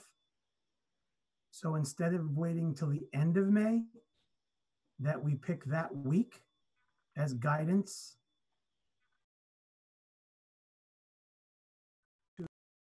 I think that seems more reasonable than waiting till the end of May. Carlo, that's um, partly why I was thinking the end of May or when schools reopen, which right now is scheduled for May 4th, but may or may not take place. I thought that might be a good barometer for when things start to, um, when some of the restrictions start to loosen up. I, I don't know if you have a reaction to that. Yeah, we, we don't know what's going to happen. That's again, I think the, the issue, uh, among other things, with a lot of people being upset um, about their signatures being challenged, but that's a separate matter. Our job is to set an election date. And I agree with all of you that given the current situation, we have to uh, uh, tread lightly on that. But I'd like to go by the guidance of what the governor has in place today, and that could change tomorrow. And that's all I'm saying is that I, I agree that the next guidance is coming, I believe, on May 4th um, to lift the state of emergency, to extend it two weeks, three weeks, four weeks. Um, I don't think the state of emergency has a um, an Sorry, end date I- right now. I- I meant non-essential, you're correct, I'm sorry. Um, The return of uh, uh, non-essential, you're right, sorry about that. That's- Yeah, that's the reopening of schools, et cetera, um, is, is currently set for May 4th, although I think a lot of people suspect it will be extended, um, which is kind of why I was thinking tying it to that. But um, other, do, sorry, uh, uh, if I will um, yield the floor to other members. So, uh, Karen, I'll, I'll step in for a sec. So, um, this is going to change daily. Um, I think is the reality, and we can't predict exactly what will happen or when. Um, and we're we're trying to use our best guidance. We just have agreed that town meeting um, makes sense to push out un, until you know this this June timeframe, and to to relook the the decision once we have a lot more information. And hopefully, we'll have that lot more information in the latter part of May. Um, and that was the reasoning behind using that date. I, I don't think that we can get into a situation of having this be the main agenda item for every meeting that we have that takes place. I think that we need to find a way to um, get ourselves some comfort that by such and such a date, you know, we, we'll we'll revisit it. Um, if things change sooner than that in a dramatic fashion, and I think Anne's suggestion of, of the schools uh, reopening would be a great example of that um, then to me that that says no things are, are changing faster you should reassess that date and you should come back to this sooner um, and that was my reasoning in, in, in, in, in talking about that, that date of, uh, of late May. Karen, do you have any, any thoughts on it? No, I was just thinking about uh, if, um, I was thinking back to town meeting, if the schools were to reopen, that's a pretty close approximation of the conditions in which you need to have town meeting. So although we took a motion to not look at it till May 27th, uh, if the schools aren't reopened on May 4th, which I'm having a hard time believing that's going to happen, then that would also give us a better comfort level about um, town meeting as well. So if, uh, so Governor Baker usually gives his updates, what, at the end of the day on the 4th? And then potentially we could revisit it on our meeting. I was looking at the calendar on May 12th, if, if the schools were to reopen. So, so are you suggesting use the May 27th, but if the schools reopen, uh, which is a decision that needs to be coming fairly soon, Mhm. that we should revisit it, and that probably would be uh, early May, although conceivably it could be sooner if a decision gets made sooner. Yeah, I mean, I'm I'm personally fine with May 27th. That's an excellent point that we don't want to consume every meeting with this topic. Town staff's doing a great job of delivering, you know, 80 to 85% of services. If construction projects are ongoing, there could be other things that could be accomplishing during this time uh, that could also, you know, help us prepare open. So I'm personally fine with May 27th. Um, if Anne would like to, or someone would like to propose, um, or if the schools reopen, you know, I could probably be open to that as well.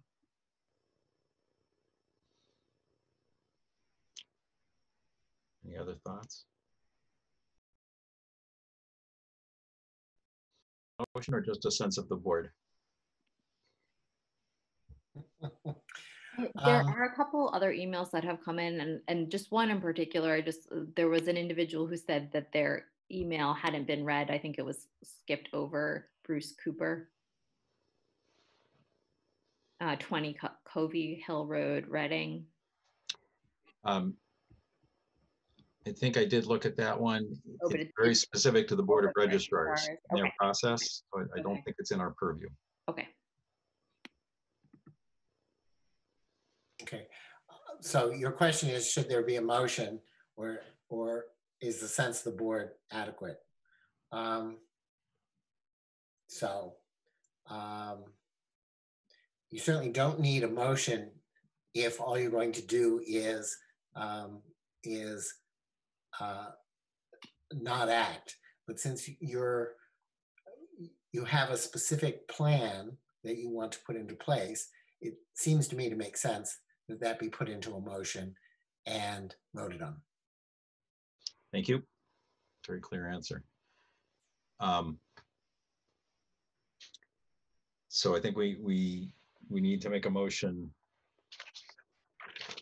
I move that we revisit this agenda item on May 27th or at the first meeting following the reopening of the public schools, whichever comes sooner.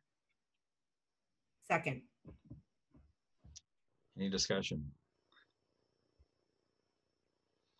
Not appearing. I'll take a vote. Uh, I'm going in order on the screen. Carlo, Uh, no, Anne, Yes. Karen, Yes. and Mark, yes. So we are three to one. Um, Anne, can you ask Vanessa to come back? Please. Sorry. Okay, Thank you, I'll take leave of you now. Thank Thank you. you Ray. very much, Ray. Thanks for your help You're very welcome. Take care. Take care. as well. thank you, thank you. Okay, um, I'm looking at the agenda. And I'm seeing a, um, still quite a bit of stuff to do. It's ten o'clock. Um, would it make sense to, uh, go? Should we go a little bit out of order? So we, we have the ad hoc committee, we have the communications subcommittee, we have the liaisons, VASC, and volunteers. Um, I would think it'd be okay to take the liaison, VASC, and volunteers and move that to next week, um, if that's okay with folks. Sorry, hi Vanessa. So what we're, we're doing, I'm looking at the clock and seeing that it's 10.07. And I'm wondering if the board would um, slightly adjust the agenda so that we talk about the ad hoc committee. We talk about the communications subcommittee.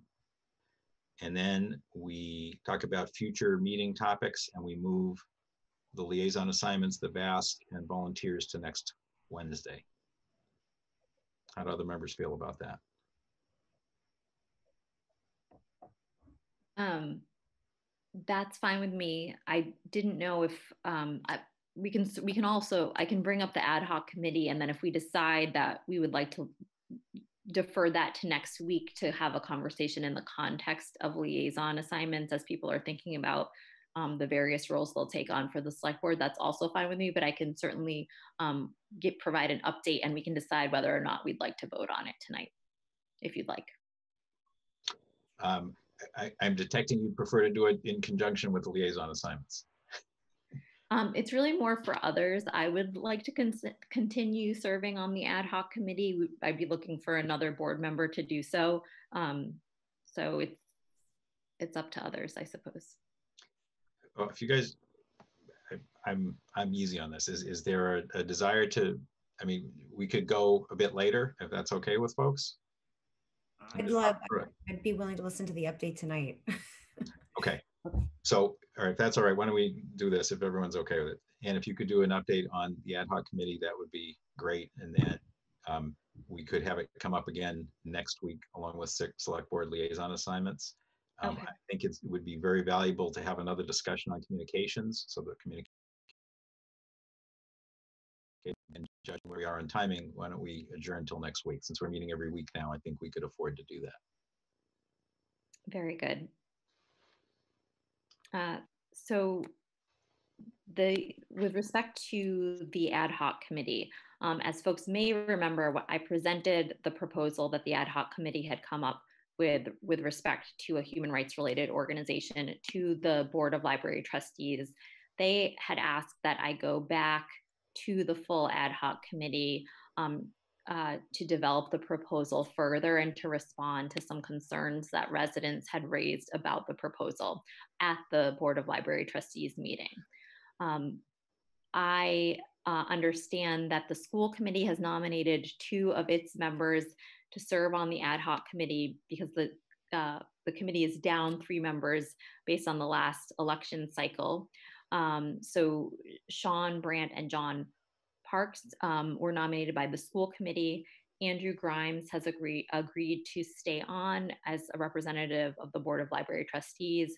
Uh, I would be happy to continue the work um, of the ad hoc committee for continuity's sake, um, and we'd be looking for one uh, other member of the select board to serve on the ad hoc committee.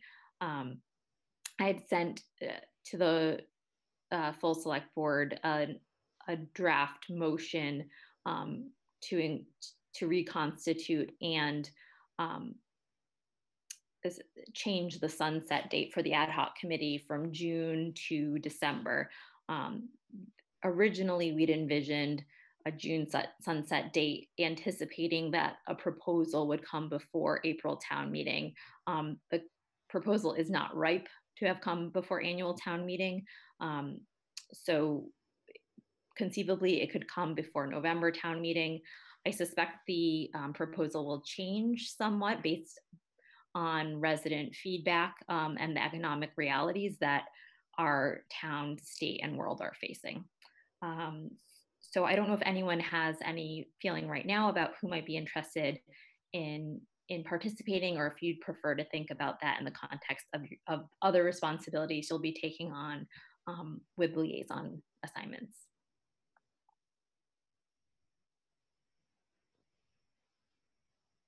Anyone have uh, thoughts? I'm not sure if it was on anyone's list specifically. So um, just a question. So N- And this is in general, that's a long list of liaison assignments. Yeah. I'm, I, you know, I have a couple of priorities that I'm very interested in, but otherwise I'm quite flexible. So, um, is this like Monopoly where we do some horse trading and so? How does this work? So uh, we talked at our last meeting about setting, um, I'm going to call it some priorities where there would be high level of, of interaction taking place for a limited number of assignments per person. Mhm.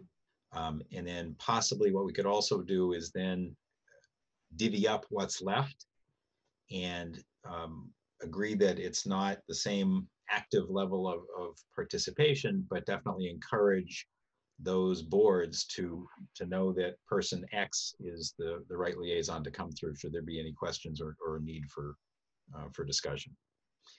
So that we talked about having everyone start with three that they really prefer. Um, and then it's certainly possible to add others as as you would like to or or, or feel is is kind of critical to the to the process. You know, there are a few beyond the ones that I think we all know and love. You know, someone has to be on the audit committee. There are a few others like that. Nothing against the audit committee, but uh, might not be everyone's first choice. There there are a few like that. Hey, what was that, Bob? Karen's husband. I was gonna say, yeah, I, I know. Yeah. Um, but I will say they are infrequent and they are quick. So, Yeah, and, and you know, I, I, I shouldn't say it, but they're, they're not that. They're not that bad. Really doable. It's quite, I, I could, I've been doing it for several years on FinCom as well as on Select Board. But um, there's that whole list to go through. And, and again, I think, you know, I was gonna suggest we, we delay that um, and not do it tonight. So, you know, and maybe what we should do is take your suggestion. Let, let's hang on to that. Let's think about it in the context of next Wednesday. Very good. Go through the list and, and everyone, I, I I know many the number that you think are high priority. Um, we should also just think about which groups and committees um, we need to have a, a very strong presence with versus those where we're we're absolutely going to be inviting the chairs to to reach out whenever they have an issue.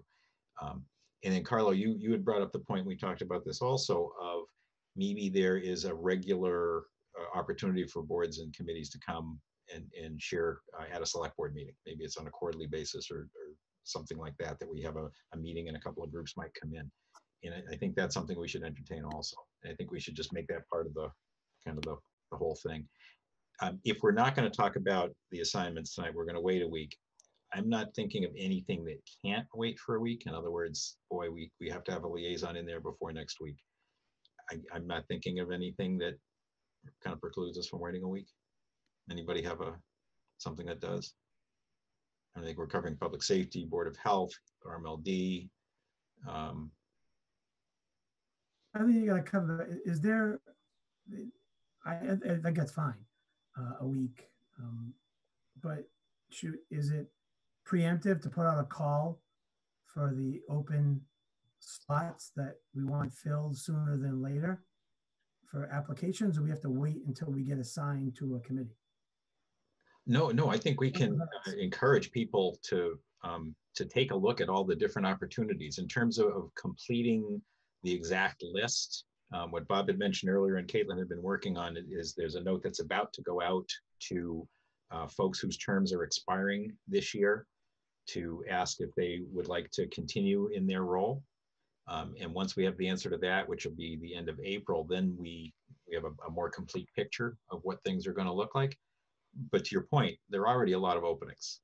Um, and it's never too early to start asking people to please engage, to think about the areas they'd be interested in. There is a form where it asks you to um, check off all the different activities that you would have interest in. And we certainly would encourage people to, to fill that out with multiple checks, um, just thinking about what they might want to do. I think that would be great.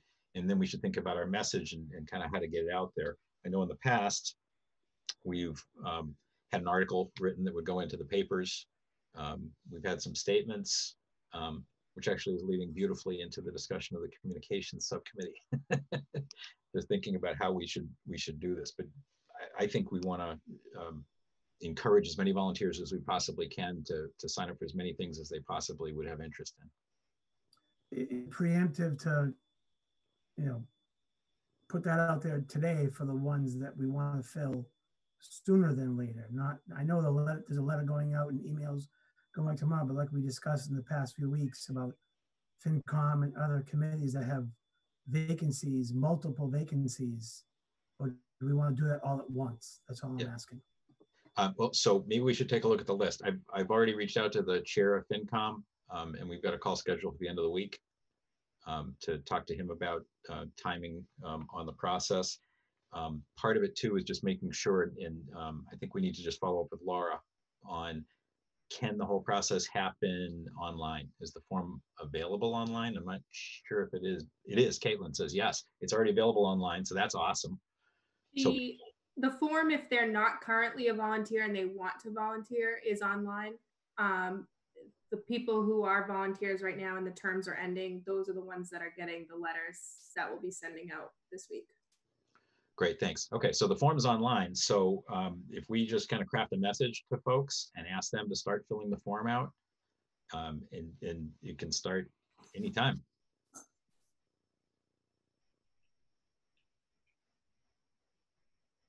Yeah, for the benefit of the board, um, if you go on the home page, there's actually one of the tabs on the left-hand side that says volunteer opportunities. It's a lot of information there.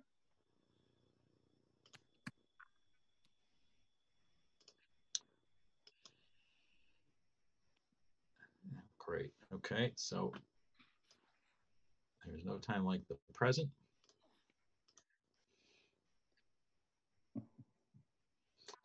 So right here, readingma.gov, on the homepage, it says volunteer opportunities. And if you click on it, and if my internet is working, then here you go. Volunteer application is right here. So you fill out kind of who you are, here. I'll encourage you to, to check off all of the ones that you would have interest in serving on, and, and please, ideally, if there's more than one, identify that. Uh, and then any experience that you might have, just reasons why uh, you're interested and why you'd be a good person to, to join the board. Mm, Not ready for that vote yet. Um, okay, so why don't we uh, move on to the uh, communications subcommittee? And if- Vanessa and Anne, if you could uh, kind of give us an update on, on where you are and, and thoughts on, I think you were talking about separating into two groups.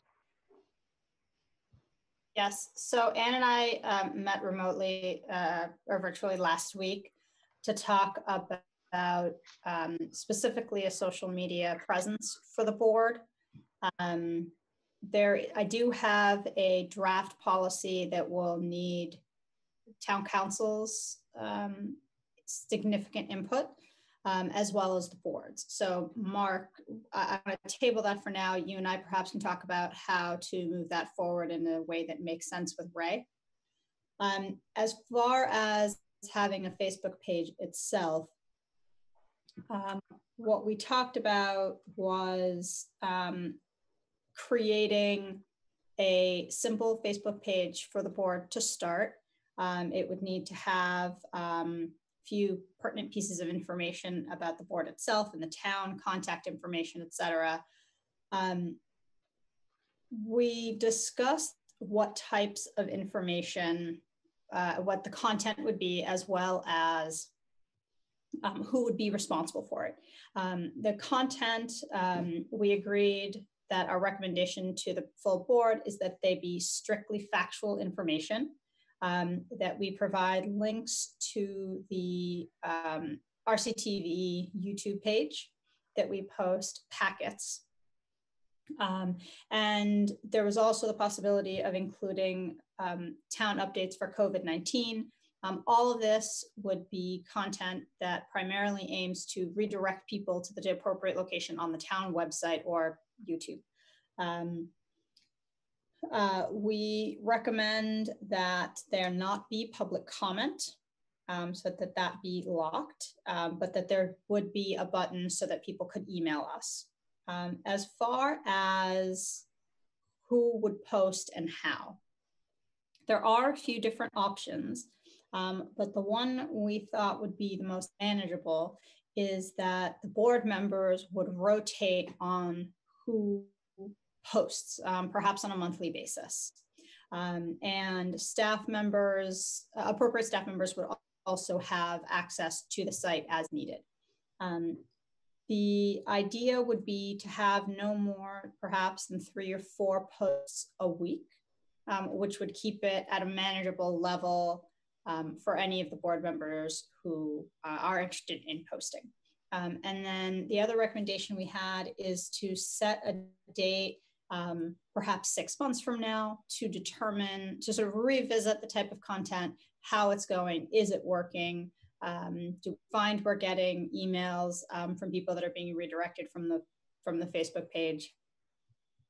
Um, and as far as um, next steps, the board would need to decide if this is a direction we want to go in. Um, the page would need to be created and we would need to decide who posts first to get us started.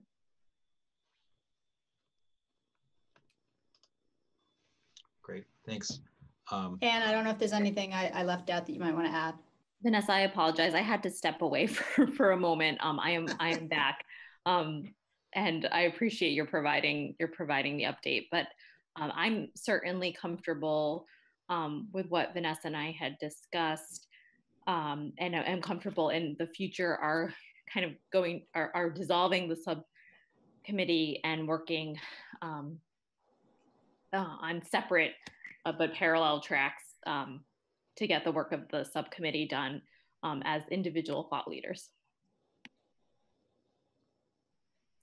So one of those would be um, communication um, amongst the board and with Bob and the other person, thought leader, um, could focus on the social media side. And per actually, particularly the, oh, the, and the former with residents. Yes. Yeah.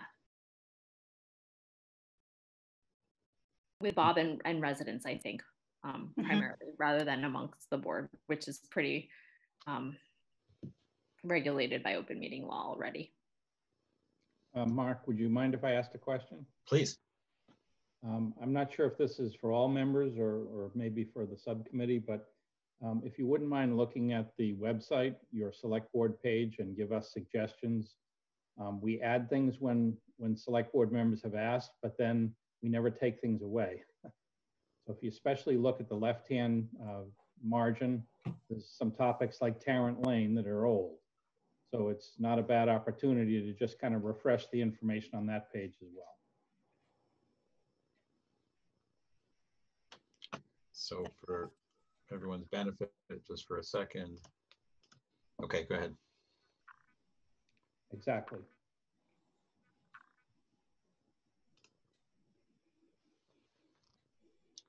So that, I think part of the I guess the uh, the external, if you will, would include this, right? So that would a lot of it is recommendations for what should go to the town website, but it also is meant to be separate and focused on. Is it Facebook that it's going to be focused on? That we're talking about? Yes. Okay. Um, and just for information, what kinds of items do you think we would post there? You mentioned kind of three or four times a week. Um, so we we've talked about you know kind of covid-19 updates and having the board able to speak with one voice and put all the information out. So I, I, that one i see. Are there some other examples of what we might want to do that way? Mm -hmm. the posting the packet? Packet. And and once um, the rctv video is up on youtube which is usually on fridays sometimes it's thursdays um, that may change as our meetings are on wednesday but generally two or three days later um, to post the link to the meeting itself. There are also other things that we can post, you know, as we look longer term, um, including summaries of our meetings, um, items that are posted on the um, RPD page or on the town page. But um, as we talked through sort of what the ask would be as we got this off the ground, um, the recommendation was to keep it light to begin with um, so that we can use it as a learning opportunity to see how it works um, and then build from there. And that's why this one of the suggestions was to revisit in a set amount of time, be it three, four, six months, whatever the board would like, um, to, so we can evaluate how it's going. Got it. Great. And on the, uh, the communications internal, uh, kind of with staff and with residents, you have any thoughts on how that might be functioning or, or who would be involved with that? Is that individual board members uh, to staff? Is it? You mean on the Facebook page? No, sorry, I'm, I'm not the Facebook. Um, The, what I wrote down is that the subcommittee would dissolve, we have kind of um, individual experts, one on more the Facebook oriented activities, the other more on uh, communications, and I, I thought I heard with staff and residents. Am I not correct with that? With, with residents and Bob, but, uh, or Residents, have the town manager, but I think that effectively with staff. Yeah. And how would you envision that functioning? Who would be involved? Is individual members, uh, each reaching to Bob or? So we actually, uh, the, the, the reason this topic had come up two weeks ago, I think it was two weeks ago, um, was the idea of focusing on social media due to COVID communications and the frequency of the board meetings, et cetera, so that the, board could communicate better with the public. Uh, so the focus of our meeting last week was strictly on social media. The idea with disbanding the subcommittee and having two members with each a different communication focus is to help advance the exact thing you mentioned, which is communication with residents, communication with staff, and communication with Bob. And those all would fall under one umbrella. Um, I don't know if this is related, but I'll try and then you can tell me yes or no. One of the topics we've talked about as being really important is a way to um, follow up on items uh, that have come through from residents and to Yeah. kind of have a closed loop. Um, so there's complete follow up and resolution and, and, and notification. Is that one of the things that might fit into there or is that really a different topic? That is squarely within that. And it really, we, I, Bob and I had previously the board. Um, we, ca- we need to pick that up again, or, and I, that, I'm not putting that on Bob, I'm putting that on me. Um, need to pick that up again. Got it. So Mark, to answer your question, it was broached. Um, and had talked to Bob about it separately, and we as a subcommittee had talked about it. Um, we just hadn't advanced it far enough. Got it. Other members have questions, comments? Um, I have a question, just uh, to be clear, if someone sends a message to the select board, um, how does that um, work vis-a-vis if they sent an email to the whole select board? And we all get it, and we all see it.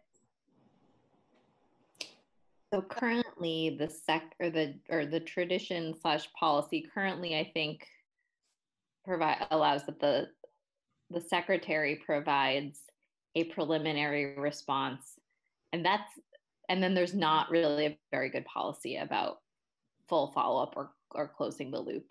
Individual members might email uh, the resident uh, Bob, who is included on all emails to the select board um, from time to time, and I think with some frequency, will respond with information that he has, but there's not a consistent response and there's there's no current tracking system for confirming that residents receive a complete response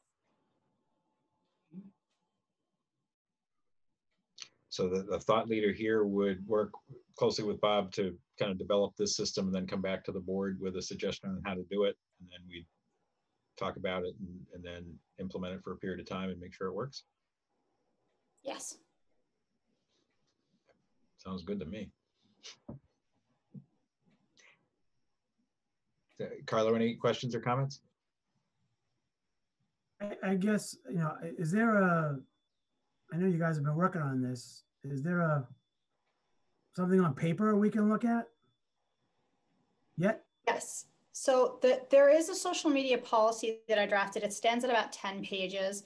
Uh, a lot of it is uh, more the nitty gritty of um, disclaimers, um, how it'll be used, who has access, um, which is why it's not I, am sort of torn. Anne and I talked about this. Where does the board review it first, or does the town counsel review it first? Because there are matters that very clearly need Ray to weigh in, and so do we spend you know two hours picking apart a policy that ray is then going to weigh in on and say well you can't say this or you have to say this and, and it needs to change. So there's a little bit of a chicken and the egg situation here as far as the policy goes. Um, from a practical perspective as far as and, and i'm happy to send it if, the board is you know wants some light reading. Um, but if from from a practical perspective um, ultimately the board needs to decide if we want a social media page um, with these very basic parameters of posting um, the agendas, the packet, uh, and a link to the YouTube video after the fact, and if we want to share COVID specific information on there as well. Um, that's how we envisioned um, the initial sort of beginning of a Facebook page, and then it could evolve however the board would be would want it to. Okay, I just I policy itself doesn't actually go down the rabbit hole of what we post and with what frequency, etc. Bob, you have a comment? Yeah, I've I've been in the chicken and egg game with Ray, and um, it's going to be helpful if I can explain to him and you can explain to me what are you trying to accomplish. So, to the extent you can come up with some kind of philosophical overview, that would be very helpful.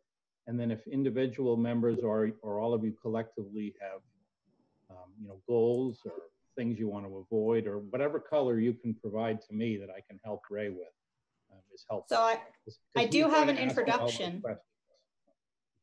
I do have an introduction that may be helpful. Okay. Yeah, okay. Um, and, and much of this is borrowed from other towns um, who have done it. So I'm, I'm not reinventing the wheel here. Um, as part of the official internet presence for the town of Reading, Massachusetts, the town's social media site will be used by the town and its agents to inform the public of the work, news, and updates of various town departments. The town's social media sites are subject to the same rules as other government publications. Okay, yeah, something, yeah, that'd be very helpful. Okay. So Bob, I'm happy to send this to you. I, I my concern is I know given everything else that's happening in the world, I didn't want Ray to pour over this if the board wanted to review it and pick it apart first. And that's where the chicken egg situation comes in, where I'm, I'm happy to do whatever makes sense. But I, I defer Mark to you as the chair and Bob, you know, however you. I, I would think it would make sense for the all the board members to have a crack at it in some way, shape, or form first. Okay, so Bob, okay. Send this to you for inclusion in the next packet then? Sure. Yep. Mark, yeah, maybe, okay. maybe it'd be good to have um, kind of something a little bit in between what both of you have just said. Great to to to kind of weigh in on some of the specifics and how it might work, but also to talk at a high level.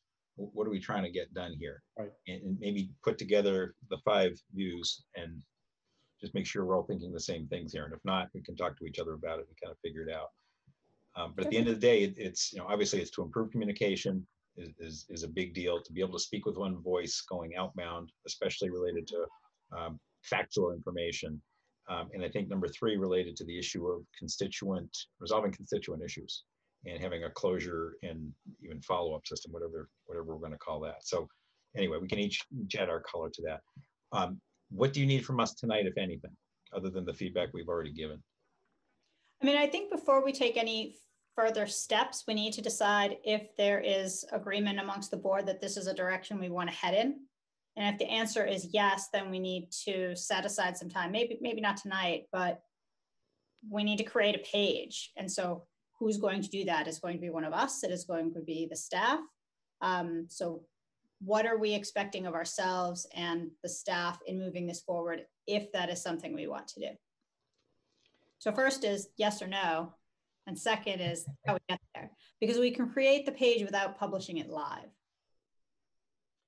Is, is one of you willing to take a crack at that, or would you rather get kind of the uh, four other, or three other bits of feedback first? I think we're getting ahead of ourselves. So let's get the three bits of feedback first. Um, bring that to you. Let's put it on the agenda for next week as kind of continuing the discussion.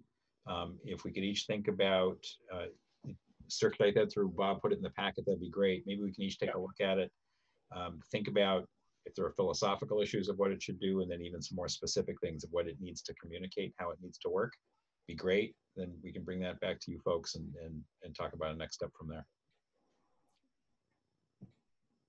Bob, I'll send that to you. It's essentially my meeting minutes from our meeting last week. Okay, thanks. Can we move on to the last topic, which will be uh, future agenda? We can talk about near future being next week. so um, I think the the COVID-19 updates are very important. We, we stay with that. The Board of Health is going to continue to have a person you know, joining with us. Um, we can add, let's add communications back to it. I think that's an important piece of it. Um, the items that we weren't able to, to cover tonight, which really relates to um, the appointments, um, boards and committees, liaison roles, the VASC, uh, voting for a couple of members for VASC as part of that. What else would folks like to have on the agenda for next week?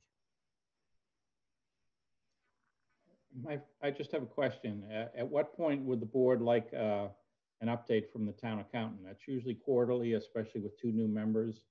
Um, I can ask her her availability on Wednesday nights. I don't know that, uh, but that's something to think about. Please, and maybe ask her when she thinks is a good time also, given Okay. when she's you know, suddenly kind of has a feel for what's going on or where she needs help. Okay, will do. Um, I have had a couple of residents reach out to me asking about um, the the gas leak project, the analysis, um, with the construction projects being able to continue. Um, they they were asking whether you know a consultant basically he's going to ex- execute this by driving around the streets of reading in his car not talking to anyone else might this be something that we would be able to continue with this spring so i didn't know if that would need to be an agenda item or an update or what do you think Bob? Um, with um, with Andy and Dave, Andy kind of informally that um, you know we had procurement, we had a path, but we needed to have more discussion. And with town hall not open to the public, that discussion's theoretically not not very easy, I'll say. Um, so if, if you want to pick up uh, the select board's role with the permission of everyone else, I can talk to you offline about that. Um, you know, as, as, you've seen, I've been trying to focus on Main Street in terms of the gas leak issue first. Um, it's up to the town accountant. If we don't have a contract signed by June 30th, it's up to her whether to make town meeting reappropriate funds or whether to carry them forward. And I, I can't answer for her. Um, it's, it's hard to know right now what the best sequence of timing is. If we have a June town meeting, for instance, um, you know, it, it's just hard to say. Um, you know, we have the money clearly set aside. It's not going to be used for any other purpose through June 30th, so that's not a problem. So Bob, don't we normally, um, as standard practice, carry it over once funds are appropriated? No. Um, specifically, if there's no contractual or relationship already arranged, uh, the town accountant will generally not allow that to be carried over. Uh, with the exception of capital. Uh, capital is legally different. Okay. Thank you. Yep. So um, what if we, as part of the discussion of liaison roles, um, there, there are other categories of things relating to some projects. Some of them are building projects, and perhaps this is one that we want to consider as a project also.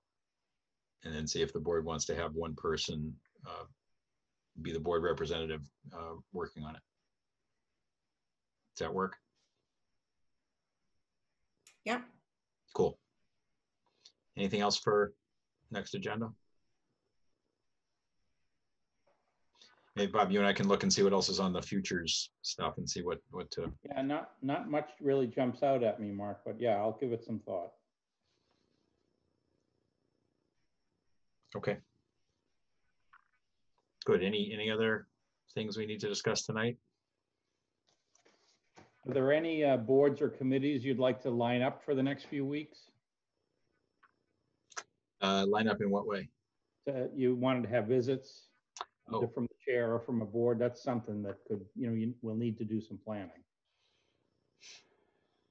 Maybe what we should do is, is talk about how we want to do that. Um, Okay. So the boards and committees haven't met in several weeks. I'm Right. not sure the timing is right for that yet. Um, Yeah, either, either next week or the next, or the week after, more likely. I think you're gonna get a longer update for the COVID section. And, you know, possibly from the whole Board of Health, the whole command staff. Um, You know, once we've gotten through the very busy time, which could be two weeks from now. Um, You know, we may take 45 minutes one of those nights. That's the only group I could think of, but just as an example. Great, thanks. All right, Carlo, do you have a, a motion? Uh, motion to adjourn the meeting? I have a second. Second. Thank you, Anne. All right, Carlo, Meeting is adjourned. Anne, Uh, Oh, yes. Yes. Vanessa, Yes. Mark, yes. We are adjourned. Thank you, folks. All Thank you. right. Good night. Good night all.